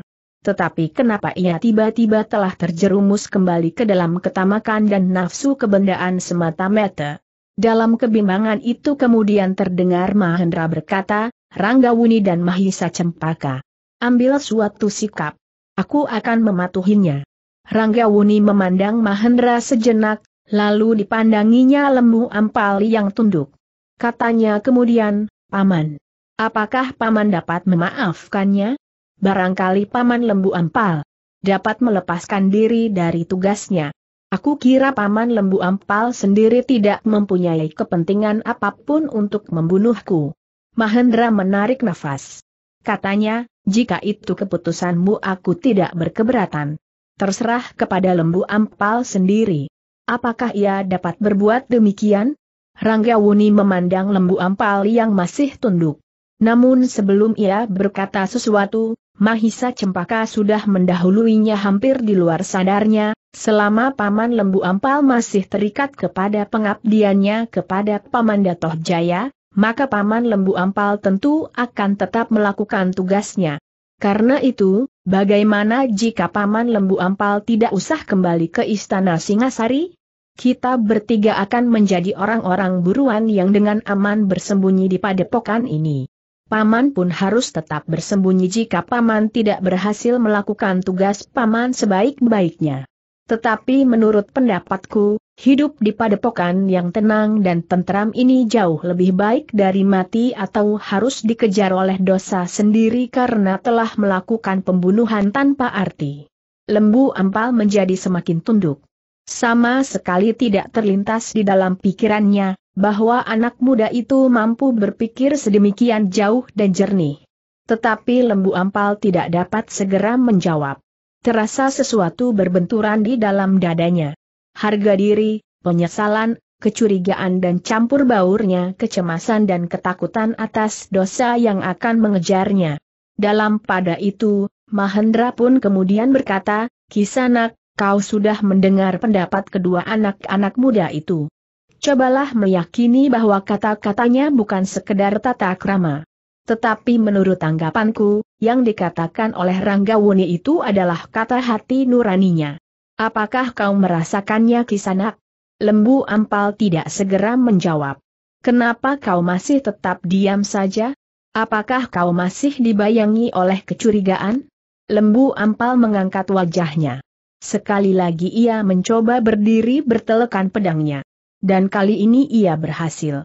Mahendra memandang lembu Ampal dengan ragu. Tetapi nampak bahwa ia telah mempersiapkan dirinya pula. Sesaat mereka diam dalam ketegangan. Ranggawuni dan Mahisa Cempaka pun menjadi tegang pula. Mereka memandang Mahendra dan lembu Ampal berganti-ganti. Namun tiba-tiba mereka melihat lembu ampal menarik nafas dalam-dalam. Dengan dada yang berdebar-debar mereka melihat pula lembu ampal mengangkat pedangnya di hadapan wajahnya. Namun kemudian nafas mereka pun bagaikan terhenti ketika mereka melihat lembu ampal justru melemparkan senjatanya sambil berkata, Tuanku berdua. Betapa besar jiwa tuanku berdua. Adalah pertanda kasih yang maha agung, bahwa di dalam usia tuanku yang masih semuda itu, tuanku telah mempertimbangkan untuk memberikan maaf terhadap orang yang sudah bertekad untuk membunuh tuanku. Mahendra memandang lembu ampal sejenak. Seakan-akan ia ingin meyakinkan sikap orang itu. Namun kemudian ia melangkah maju sambil berkata, terpujilah kebesaran jiwamu kisanak. Ternyata kau benar-benar seorang senapati yang memiliki sikap sebenarnya jantan. Sikap jantan bukan berarti membunuh dirinya sendiri di peperangan karena putus asa. Tetapi berani melihat kenyataan dan mengakui kebenaran. Dan Kisanak sudah melakukannya. Sebutan itu tidak sepantasnya bagiku. Aku memang seorang pengecut yang tidak berani mempertanggungjawabkan sikap dan perbuatanku. Itulah sebabnya maka aku mohon maaf kepadamu Kisanak. Dan kepada kedua anak muda yang mulia itu. Ranggawuni dan Mahisa Cempaka pun kemudian melangkah maju. Dengan wajah yang bening keduanya memandang lembu ampal yang tiba-tiba saja bersujud di hadapan mereka. Kau kenapa paman bertanya Ranggawuni, berdirilah.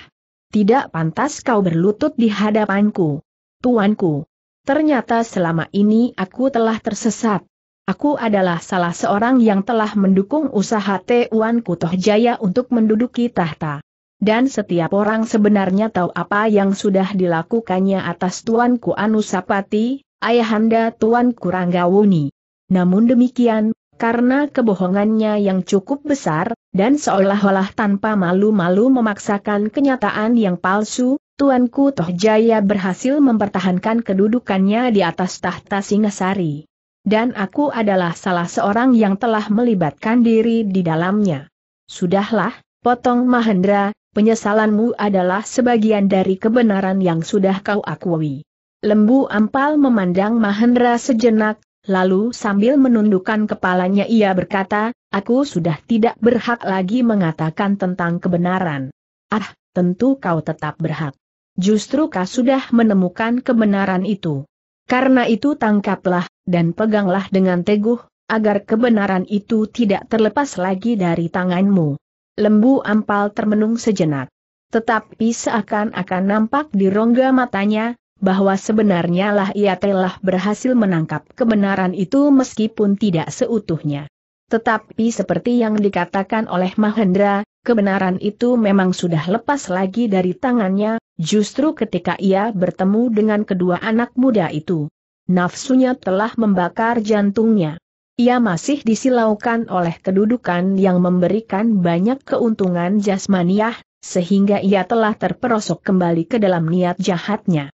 Aku harus mengucapkan syukur, bahwa Kisanak berada di sini, tiba-tiba saja suara lembu ampal bagaikan melingkar di dalam dadanya saja.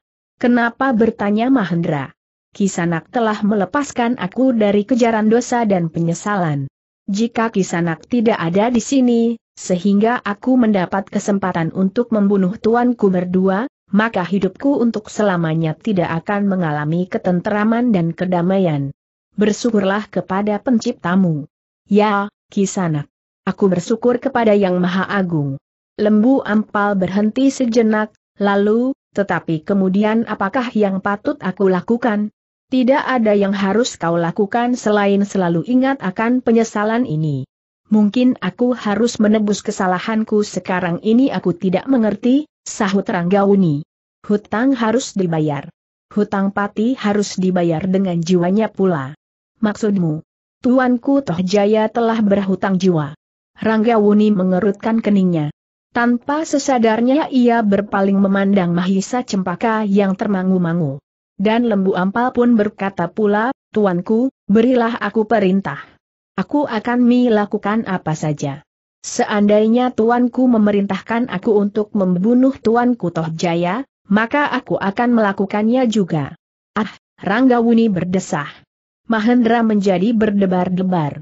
Tetapi ia tidak menyahut, ia ingin mendengar jawaban yang meloncat dari mulut Ranggawuni sendiri. Agaknya pertanyaan lembu ampal itu di luar sadarnya telah menjajaki watak dan sifat Ranggawuni. Sejenak kemudian Ranggawuni pun menjawab, Paman lembu ampal. Jika hutang jiwa harus dibayar dengan jiwa maka kematian akan disusul dengan kematian.